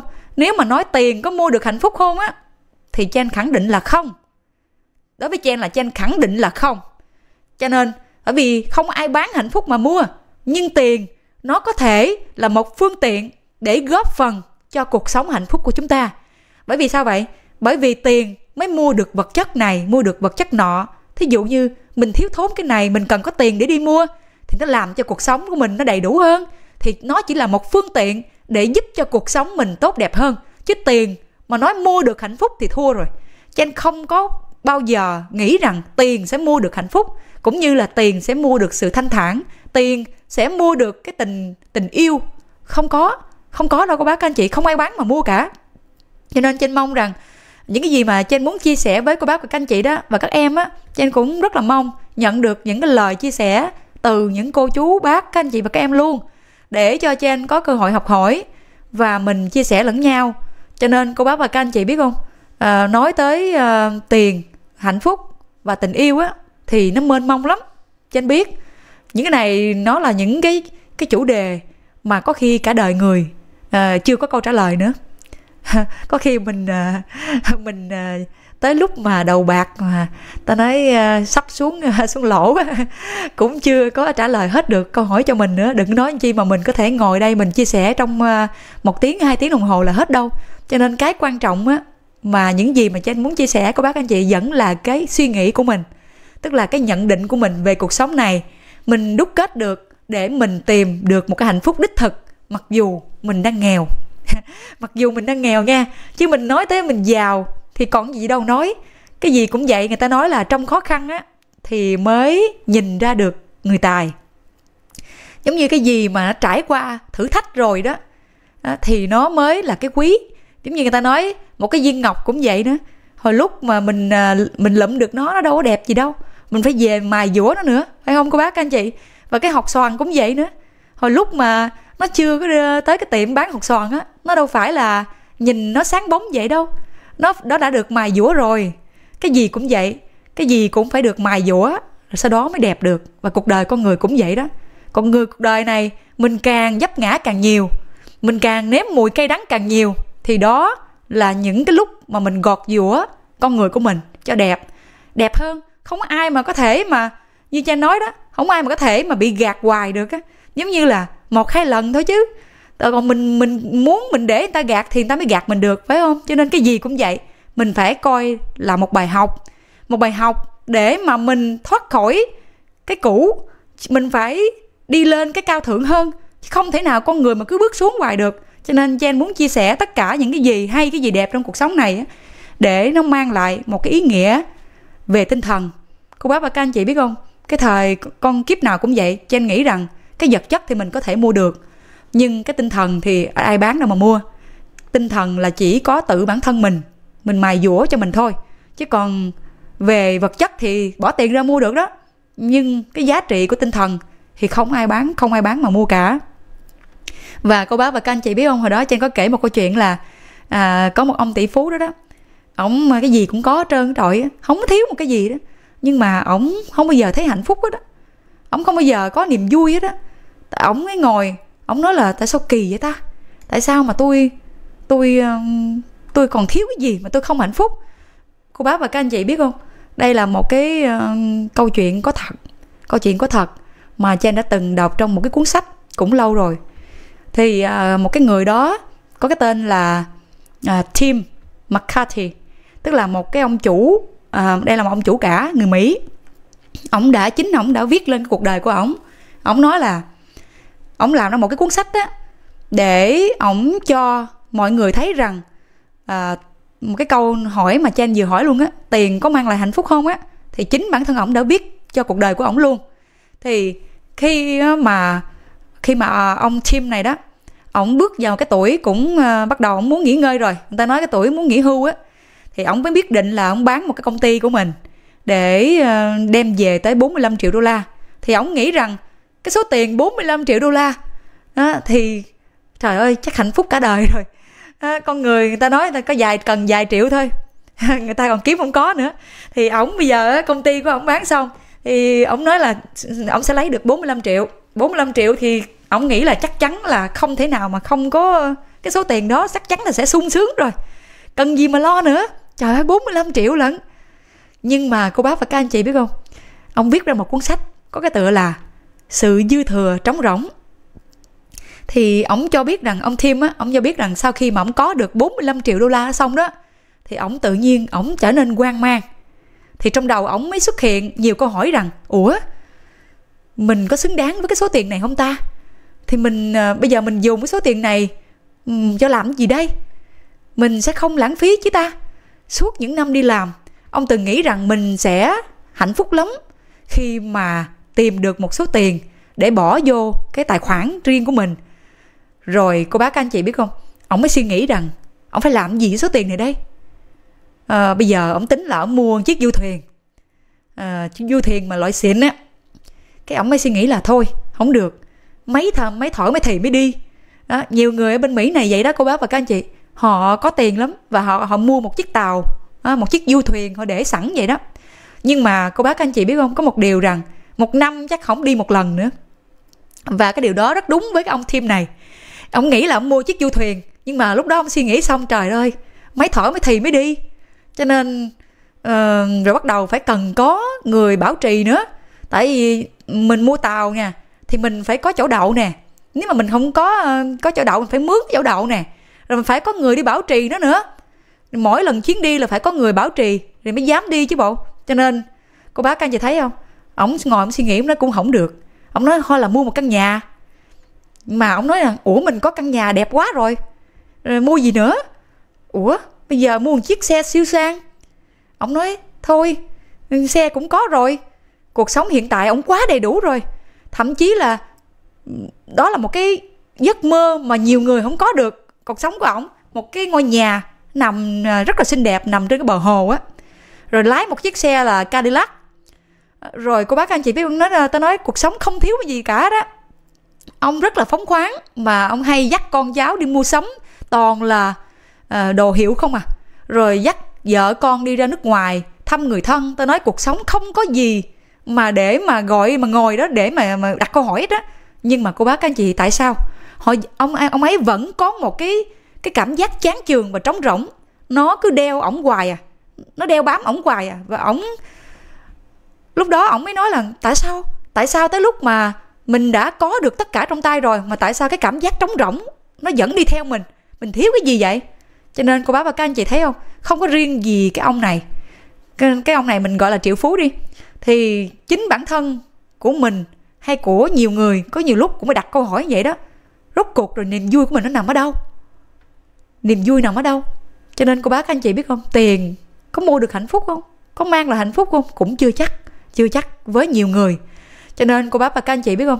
Ông ờ, từ đó đó, ông mới ờ, suy nghĩ rằng ông ờ, tặng quà cho những cái người mà hồi xưa làm cho công ty của ông đó. Ông mới giúp cho những người mà gia đình của những người cầm trong công nhân của ông á, có cuộc sống đầy đủ hơn, rồi giúp cho họ có cả những cái vé đi du lịch nữa. Nhưng mà cô bác, các anh chị biết không? Ông để ý luôn. Ông cho những người đó rất nhiều tiền. Cho những người mà dưới thuộc cấp của ông á, cuộc sống của họ cũng bắt đầu đầy đủ luôn. Nhưng mà trong những chuyến đi chơi đó, họ để ý đó, ông để ý này, họ cũng không thấy hài lòng luôn nữa khi mà ông đã giúp cho họ có cuộc sống đầy đủ rồi mà ông cảm thấy vợ chồng con cái họ đi chơi cũng phàn nàn nữa cũng ngồi than thở cũng cãi cọ nhau cũng gây gỗ nhau à. Cái ông mới ngồi ông suy nghĩ rằng ủa vậy những người này à, bây giờ họ có đầy đủ rồi mình giúp cho họ rồi họ cũng có hạnh phúc luôn đó. Rồi ông mới nói rằng tại sao những người xung quanh tôi có có đầy đủ rồi tôi đã tặng cho họ những món quà tặng cho họ những cái vé đi du lịch. Vậy mà tôi thấy họ vẫn cáo kỉnh họ vẫn cãi cọ nhau họ ngồi họ còn than thở họ phàn nàn cái gì nữa ta? Rồi tự nhiên ông cảm thấy vô cùng thất vọng. Ông nói là ông cũng không hiểu tại sao mà một người giàu có lại có những cái cảm xúc đang xen như vậy đó cô bác và các anh chị. Rồi trong khi đó thì ông ông biết là cái công ty à, cái công ty mà ừ, ông đã bán đi rồi đó thì ông biết rằng rõ ràng nếu mà ông chưa bán á, thì cái công ty đó sẽ kiếm lợi kiếm tiền hoài à. Nhưng mà ông nói rằng tiền nó sẽ có vô hoài nhưng mà cuối cùng rồi ông cũng thấy cuộc sống này không có ý nghĩa gì hết trơn á cái gì cũng có hết rồi cũng không có ý nghĩa. Nhưng mà cô bác và các anh chị biết không? Cái một cái cái coi cuốn sách mà ông viết ra đó ông viết cái coi cái cuốn sách là sự trống rỗng đáng sợ. Thì sau đó cô bác và các anh chị biết không? Họ bắt đầu à, ông bắt đầu quyết định đi cho tiền người nghèo bắt đầu cho từ thiện. Ông đi tới những cái vùng mà à, những cái trẻ em mà đói khổ ở châu phi luôn. Ông đi qua những vùng đó luôn. Bắt đầu ông đi ban phát đồ ăn và ông nhìn những cái gương mặt của những đứa bé đó. Khi mà nó lấm lem mà, nó trùn cái trần vậy nó trùn lũi à. Xong cái nó ngồi nó ăn, cái nó ngồi nó ăn nhìn nhau, nó cười, ăn ngon á, được ăn, bữa ăn ngon á, tại đói mà. Cái tự nhiên ổng thấy hạnh phúc quá. Ông ngồi ông nhìn sao ổng thấy, tự nhiên cuộc đời của ổng ông thấy nó có cái gì đó trong con tim của ổng nó trỗi dậy. Ông nói, cái cảm giác này lâu quá rồi ông không thấy ông không nhìn thấy. Tại vì ông cho những người mà thuộc cấp của ổng á là những người không phải nghèo những người cũng có rồi rồi ổng cho thêm nữa thì họ cũng phàn nàn họ ngồi họ cãi cọ. Họ than giảng họ cãi cọ nhau. Còn ông đến những người mà quá khổ nghèo á thì tự nhiên ông nhìn thấy nụ cười của những người nghèo á mà ăn được những bữa cơm ngon mà ông cho đó. Tự động như ông thấy hạnh phúc. Cho nên cô bác và các anh chị thấy không? Cái câu chuyện này á, làm cho anh nhớ lại cái lời cái lời nói của cái ông um, cái ông sạc lô đó. Cái ông mà Charlie Chaplin á dạy đứa con gái á cái hôm Noel Chen có kể câu chuyện đó đó Chen nhớ một cái điều này thôi là ông à, sạc lô ông nói với con gái rằng con à khi mà con xài tới đồng tiền thứ nhất á đó, thì con à, con vẫn xài. Mà khi con xài đồng tiền thứ hai mà tới đồng tiền thứ ba cái đồng tiền thứ ba là con phải đi cho con không được xài cho con nữa. Con chỉ xài đồng tiền thứ nhất và đồng tiền thứ hai cho bản thân con thôi. Cái đồng tiền thứ ba con phải đi cho. Cho nên vì sao mà Chen mới nhận ra được những câu chuyện này của những con người này họ đã từ lúc nghèo tới lúc giàu. Họ đã đúc kết được cái gì là hạnh phúc cho họ. Cô bác, các anh chị thấy đó. Có khi á, con người mình tham lắm. Mình chưa có thì mình khao khát nó có. Lúc nào mình cũng vậy đó và mình có rồi thì mình muốn hơn nó. Nhưng mà khi đã đến cái đỉnh điểm của cái hơn rồi đó, tức là là khi đã có cái đỉnh rồi, tức là không còn thiếu gì nữa rồi, thì tự động con người lại trở lại là trống rỗng à. Cũng trở lại ngồi đó nghĩ là, ủa, đâu có gì vui đâu ta? Có đủ hết rồi, cũng có gì vui đâu cho nên con người mình là như vậy đó, cô bác và các anh chị. Và cái vấn đề mà trên chia sẻ với các anh chị để nhận ra cái gì? Thật sự là tiền nó không mang lại hạnh phúc. Mà hạnh phúc hay không á, là chúng ta phải biết cho đi. Bởi vì mình có gom vô bao nhiêu cũng vậy à. Mình gom vô càng nhiều thì mình sẽ ngồi đó với một cái đống tiền và nó nó giống như là vô cảm vậy đó. Mình ngồi, mình nhìn một đống tiền đó, nó cũng không mang lại hạnh phúc gì cho mình cả. Mặc dù mới đầu á, thì thấy đống tiền thì mê lắm đó, nó con người nó như vậy đó. Ai cũng khao khát có một đống tiền hết đó nhưng mà có rồi thì cũng chưa chắc gì thấy thỏa mãn lại tự nhiên lại, lại sanh ra cái khác nữa. Cho nên cô bác các anh chị biết không đa số những người mà giàu có đó họ đã trải qua cái khoảng mà thời gian mà họ sống trong nhung lụa rồi đó thì tự động họ sẽ thấy một sự trống rỗng. Và họ biết rằng rốt cuộc rồi cũng phải cho đi cho đi mới đem được hạnh phúc. Tức là cuộc sống này chúng ta cần phải chia sẻ. Bất cứ cái gì cũng vậy. Cô bác và các anh chị biết không? Mình nói ví dụ như một người mà thông thái đi trên gọi là một người thông thái là sao? Là họ học giỏi, họ hiểu biết nhiều thì mình gọi là họ thông thái chứ gì? Họ quá nhiều kiến thức, họ để trong đầu của họ. Nhưng mà cô bác, các anh chị nghĩ đi, bây giờ họ có sống trong một cái ờ, cái nơi nào đó riêng tư của họ và họ chứa đựng những kiến thức đó mà họ không muốn ban kiến thức cho ai, thì rốt cuộc họ chết, họ cũng đem theo thôi và cũng không có giúp được gì cho ai cả mặc dù người đó là một người rất thông thái cho nên cô bác các anh chị biết không? Rốt cuộc rồi chúng ta phải chia sẻ. Chúng ta phải chia sẻ tức là chia sẻ để giúp đời giúp người thì tự động sẽ sanh ra cái hạnh phúc.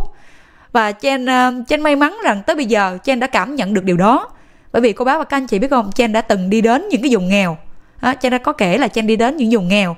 Và Chen bù lăng bù lóc với họ. À, mình à, mình giống như họ vậy đó. Mình cũng lắm lem lắm luốc vậy. Mình cùng nhau nấu những bữa ăn cho họ mình không khác gì họ trơn mình là con người thôi. Nhưng mà cô bác các anh chị biết không trong những giây phút đó đó đó là những sự trải nghiệm đó của cuộc sống này đó tự động cô bác và các anh chị sẽ tìm được hạnh phúc.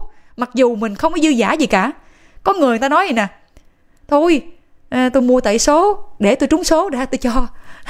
Trên biết chứ trên biết có nhiều người như vậy. Trời ơi bây giờ cho cái gì? Đợi trúng số đi. Rồi tôi cho. Nhưng mà cô bác các anh chị biết không thật sự ra không có thời gian không có nào đợi mình đâu mình muốn cái gì? Mình muốn làm từ con tim của mình ít nhiều thì mình cứ làm. Giống như mình có ít thì mình cho chút xí. Mình có nhiều thì mình cho nhiều thêm một tí. Chứ đừng có đợi tới có nhiều mới cho. Có khi không còn cơ hội để cho nữa. Và Chen có một người bạn. À, lúc mà Chen cùng đi với người bạn đó đó thì Chen hay cho tiền mấy người ăn xin. Thì cái người bạn đó hay la Chen lắm. Nói Chen bị lừa. Nói là trời ơi gạt mày đó. À, nó ăn xin gì? Lấy tiền đó đi nhảy đầm á. Nó đi uống rượu rồi đó. Mà cô bác các anh chị biết không? Mình đã gặp một người trước mặt mình họ đã xè tay xin mình rồi. Tức như là họ đã cầu xin mình rồi. Thì không có lương tâm con người nào mà có thể không cho họ chút xíu á. Mình đâu có giàu có gì nhưng họ khổ hơn mình. Mình chia sẻ cho họ chút xíu. Rồi cái cứ ngày ngày trôi qua vậy cái người bạn đó cứ mỗi lần trên cho là chửi cho anh thôi. Cho mới nói một câu vậy nè. À, kệ đó, người ta đã xin rồi thì mình có, mình giúp được thì giúp đi, không giúp được thì thôi, không sao, nhưng giúp được thì giúp. Rồi người ta người ta nhận cái tiền của mình, người ta đi làm bậy đó, thì tội của họ. Bây giờ mình đâu đi theo người ta để mình biết được người ta làm gì. Trong khi đó các bác anh chị biết không? Có những người họ được người ta cho tiền, không phải họ để cho họ đâu. Họ đi mua đồ ăn và đi ban phát cho những người homeless khác nữa. Trang đã từng chứng kiến cảnh đó rồi.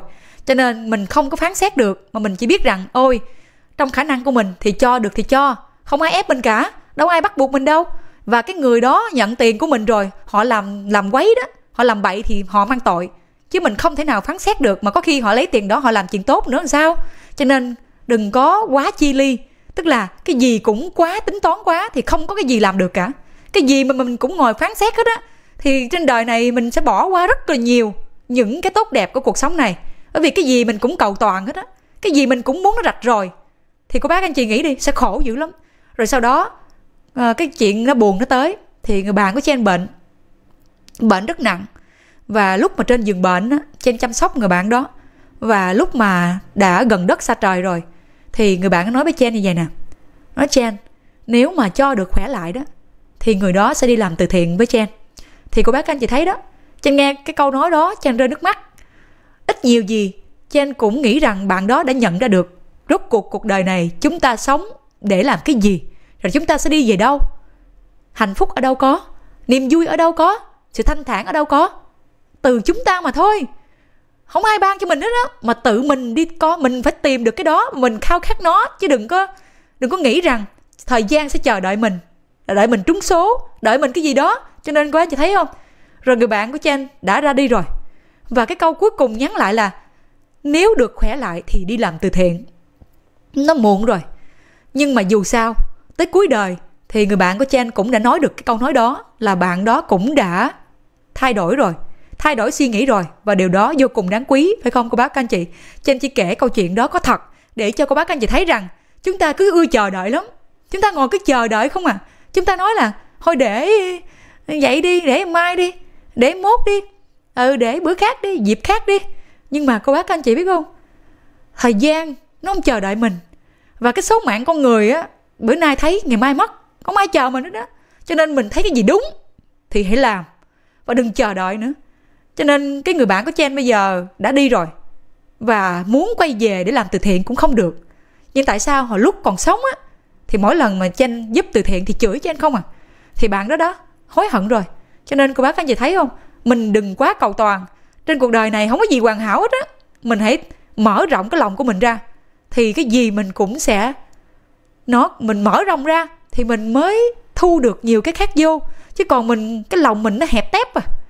Mình sẽ không đón nhận được cái gì cả. Mà chỉ có mở rộng cái lòng ra thì mới đón nhận được nhiều thứ nó vô. Phải không quá bác các anh chị? Trên nói thì nghe trên dùng những từ rất bình dân.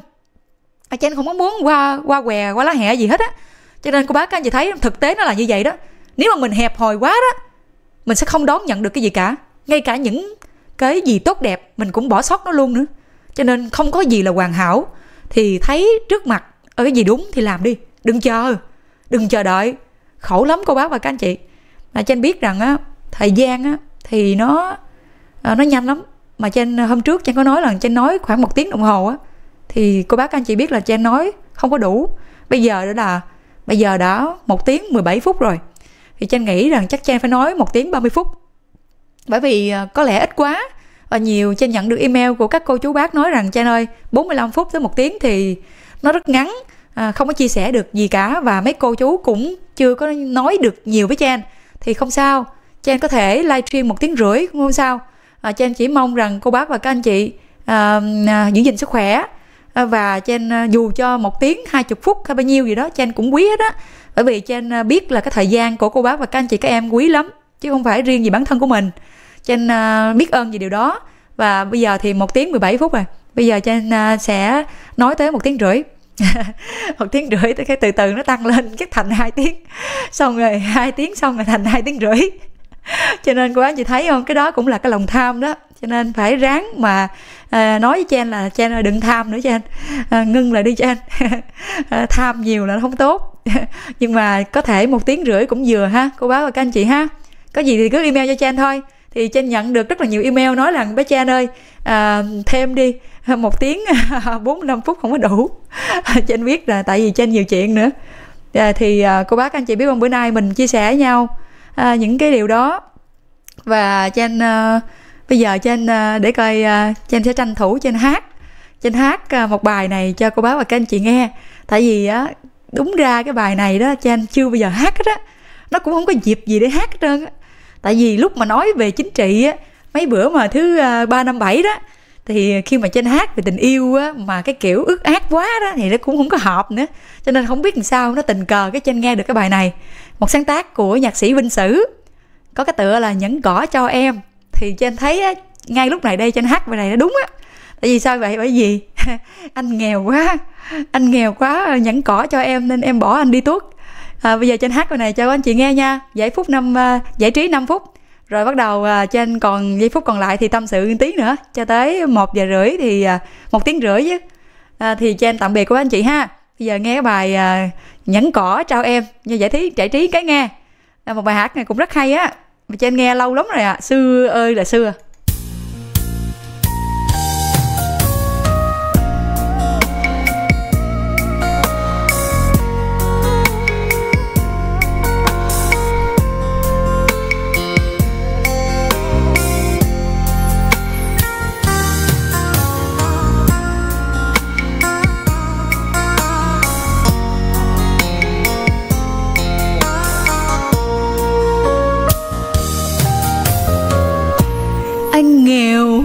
chẳng nhận kim cương. Tặng em theo sinh lễ huy hoàng. thì đây anh đan nhẫn có, tặng em coi như bỏ ngỏ. Lòng anh chắc em đã biết anh nghèo, em cũng chẳng hơn anh. Nhân anh sao nhân có chân thành? Nhà anh chung em xóm nhỏ, nhà em chung anh vách cổ thấy mẹ có vẻ ưng lòng.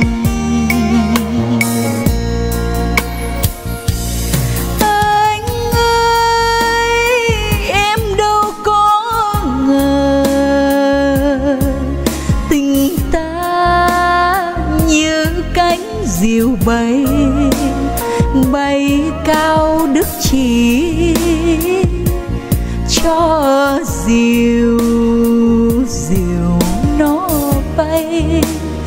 Đời gian dối nhiều,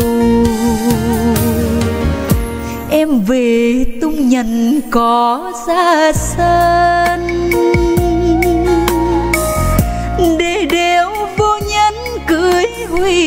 huy người ta mua em gấm lúa còn anh trao em nhẫn cỏ, thì em phải bận tâm gì?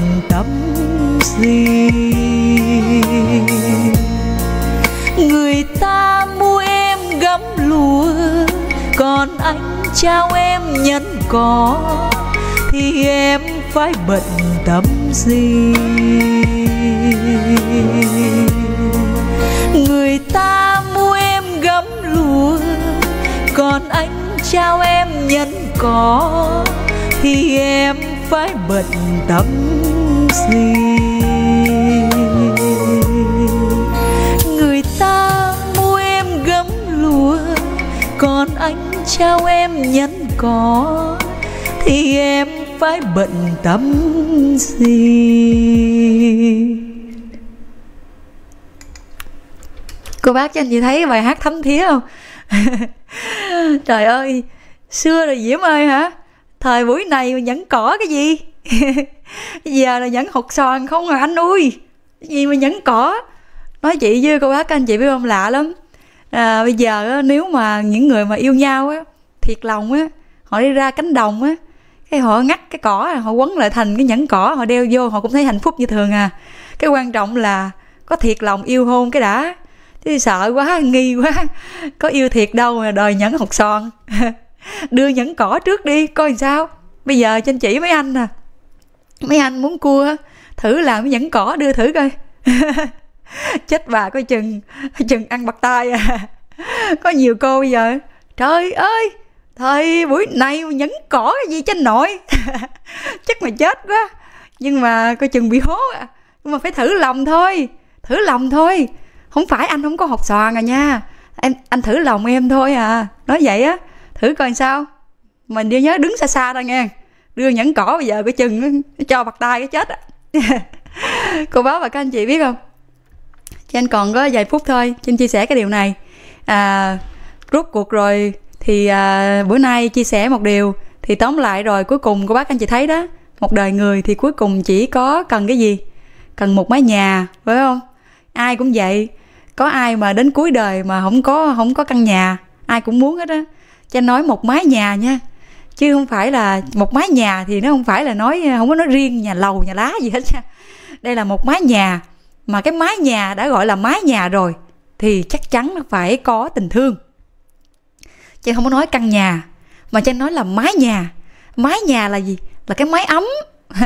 Phải không? Cái mái ấm nó khác với cái căn nhà cho nên cô bác và các anh chị thấy đó rốt cuộc rồi cái đời mình chỉ cần có một căn nhà.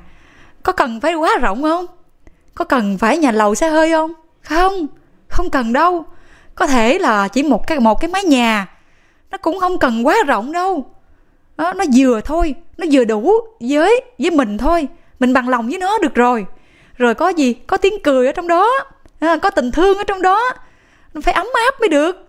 Còn hơn á có một căn nhà lầu rộng thênh thang ở đó mà bước vô lạnh tanh nè không bao giờ mà thấy có cái tình thương, cái sự ấm áp hết trơn á. Vậy thì ham cái cái nhà rầu để rộng để làm gì? Chỉ cần một căn nhà nhỏ thôi, vừa đủ thôi, nhưng ở trong đó nó có tình thương, tiếng nói cười và cái sự ấm áp, phải không cô bác anh chị? Ở đó có ai? Có vợ mình, có chồng mình, có con mình. Đó đó là một cái căn nhà tràn ngập hạnh phúc. Đó là một cái bến đỗ bình yên, bến đỗ bình yên của cuộc đời mình và cả tâm hồn nữa. Chứ không phải là nói về cái bến đổ bình yên là cái vật chất. Cái bến đổ phải bình yên là nói về đời sống tinh thần. Cho nên cô bác các anh chị thấy đó, cuối cùng rồi cần cái gì? Một mái nhà, phải không? Có có được tiếng cười, có tình yêu thương. Rồi gì nữa? Một người bạn. Không dám mơ nhiều. Một người thôi cũng được nữa thà là chất lượng. Còn hơn số lượng. Cuộc đời nó vậy đó. Cho nên có một người bạn. Người bạn đó làm sao? Người bạn đời sao? Không cần quá đẹp đâu. Không cần quá đẹp, không cần quá cao sang đâu. Nhưng sao? Thương mình.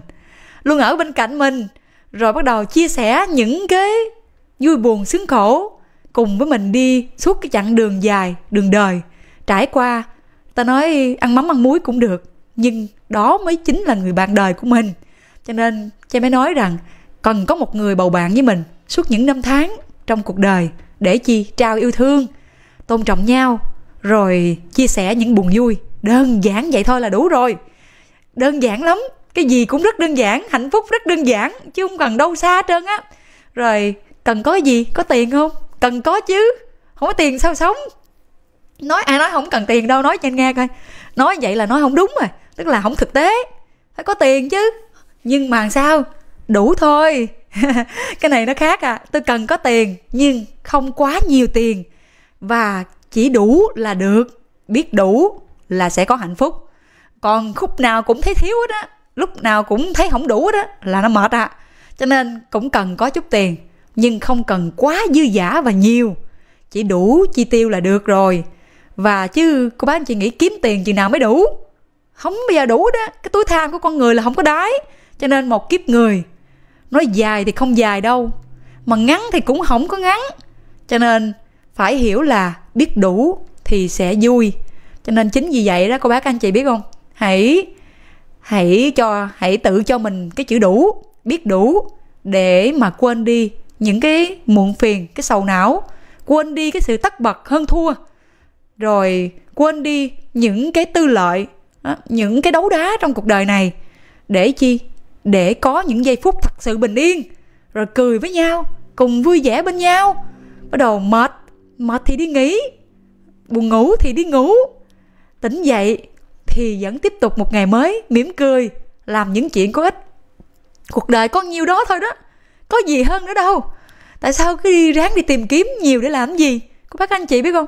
Sống theo cái tự nhiên. Ừ đói thì ăn, phải không? Khát thì uống. Buồn ngủ thì đi ngủ. Rồi buồn á, ngồi khóc chút xíu cũng không sao, cứ là một cái người tự nhiên, sống rất bơn đơn giản và thuận theo cái tự nhiên như vậy. Cho nên cô bác anh chị thấy không? Sống như vậy, tự nhiên có thấy hạnh phúc liền à.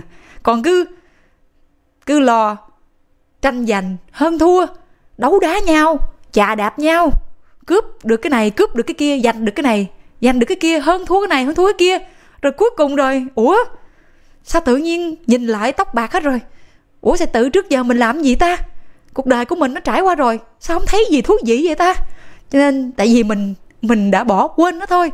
Thật sự ra ai cũng có quyền và ai cũng có sự lựa chọn hạnh phúc cho mình hết đó mà tại vì mình quên, mình lo những chuyện khác đi. Mình chỉ lo hơn thua đấu đá ghen ghét, rồi tự nhiên cái mình nhìn lại, ủa, vậy mấy thời gian kia mình đâu làm gì ý nghĩa nữa đâu? Mình chỉ lo đấu đá không à?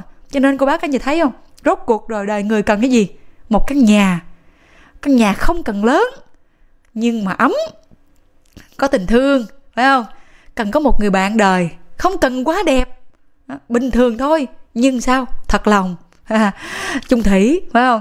Rồi bắt đầu có tiền không? Cần, có chút tiền. Không cần quá nhiều, đủ. Đủ để chi chi tiêu trong cuộc sống, đủ để lo cho vợ, cho con có cái, đủ rồi. Rồi sao nữa? Có dư tí thì cho người nghèo. Đó, đi ban phát tình thương cho người khác nữa, cái tự nhiên hạnh phúc nó nhân lên à.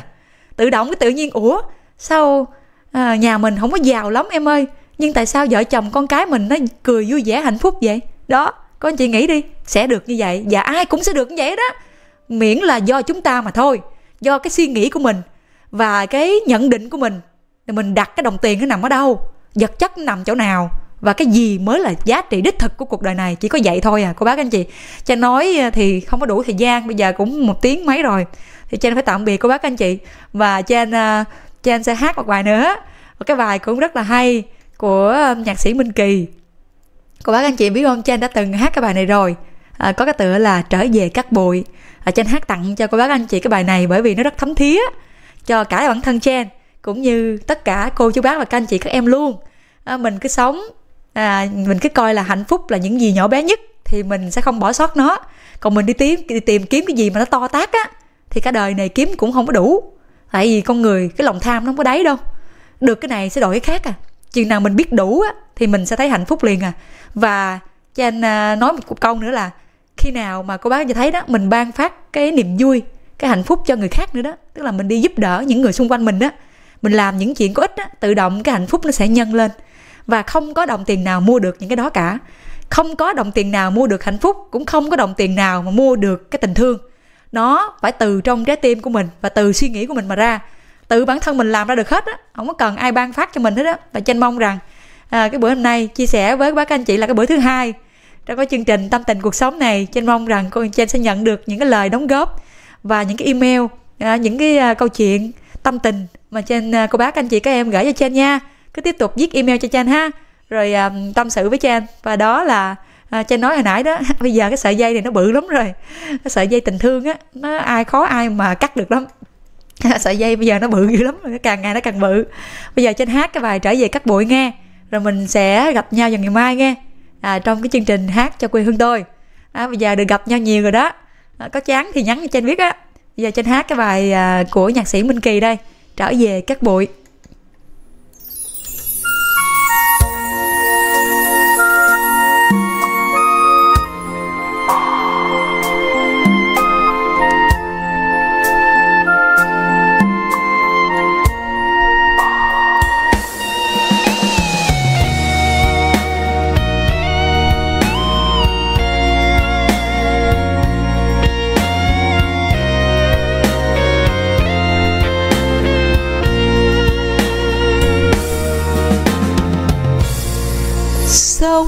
Trên đời này. Người giàu sang cũng như người nghèo khó. Trời đã ban cho ta cảm ơn trời dù sống thương đau. Mai kia chết rồi, trở về cát bụi giàu khó như nhau. Nào ai biết trước số phận ngày sau, ông trời sẽ cho. Vàng son, này lời danh chức quyền cao sang. Có nghĩa gì đâu, sao chắc bền lâu? Như nước trôi qua cầu. Này lời hứa, này thủy chung, này tình yêu chót lưỡi đầu môi. Cũng thế mà thôi, sẽ mất ngày mai, như áng mây cuối trời sống trên đời này. Tựa phù du có đây rồi lại mất. Cuộc sống mong manh, xin nhắc ai đừng đổi trắng thay đen. Nào người sáng giàu, đừng vì tham tiền bỏ nghĩa anh em. Người ơi xin nhớ cát bụi lá ta mai này sẽ qua.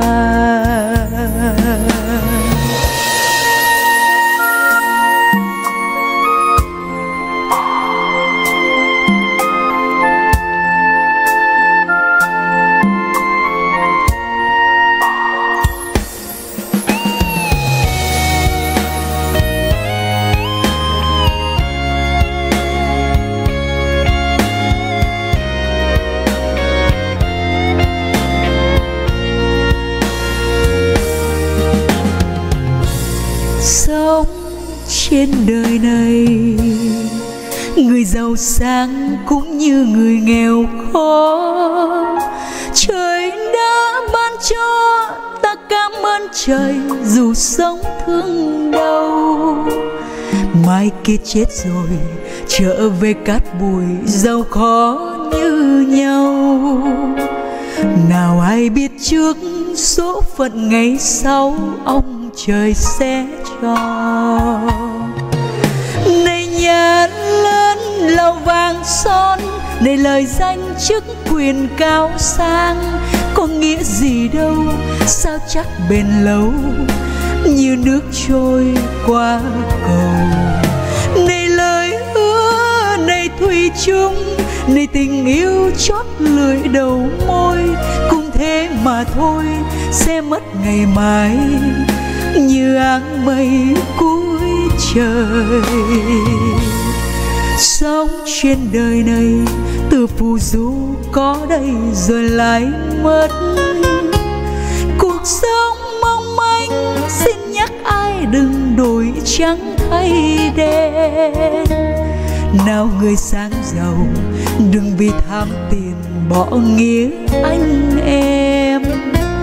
Người ơi xin nhớ cát bụi là ta mai này trong phai.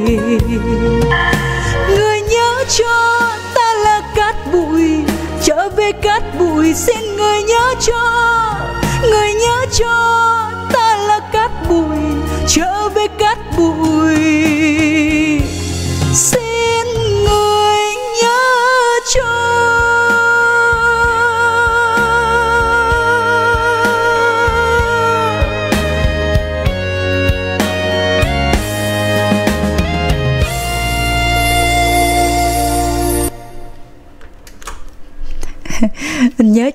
đời là cát bụi mà, phải không quá các anh chị? Mình sẽ trở về cát bụi thôi. Mình sanh ra làm sao mình trở về vậy á? Không đem được cái gì theo á, trụi lũi à.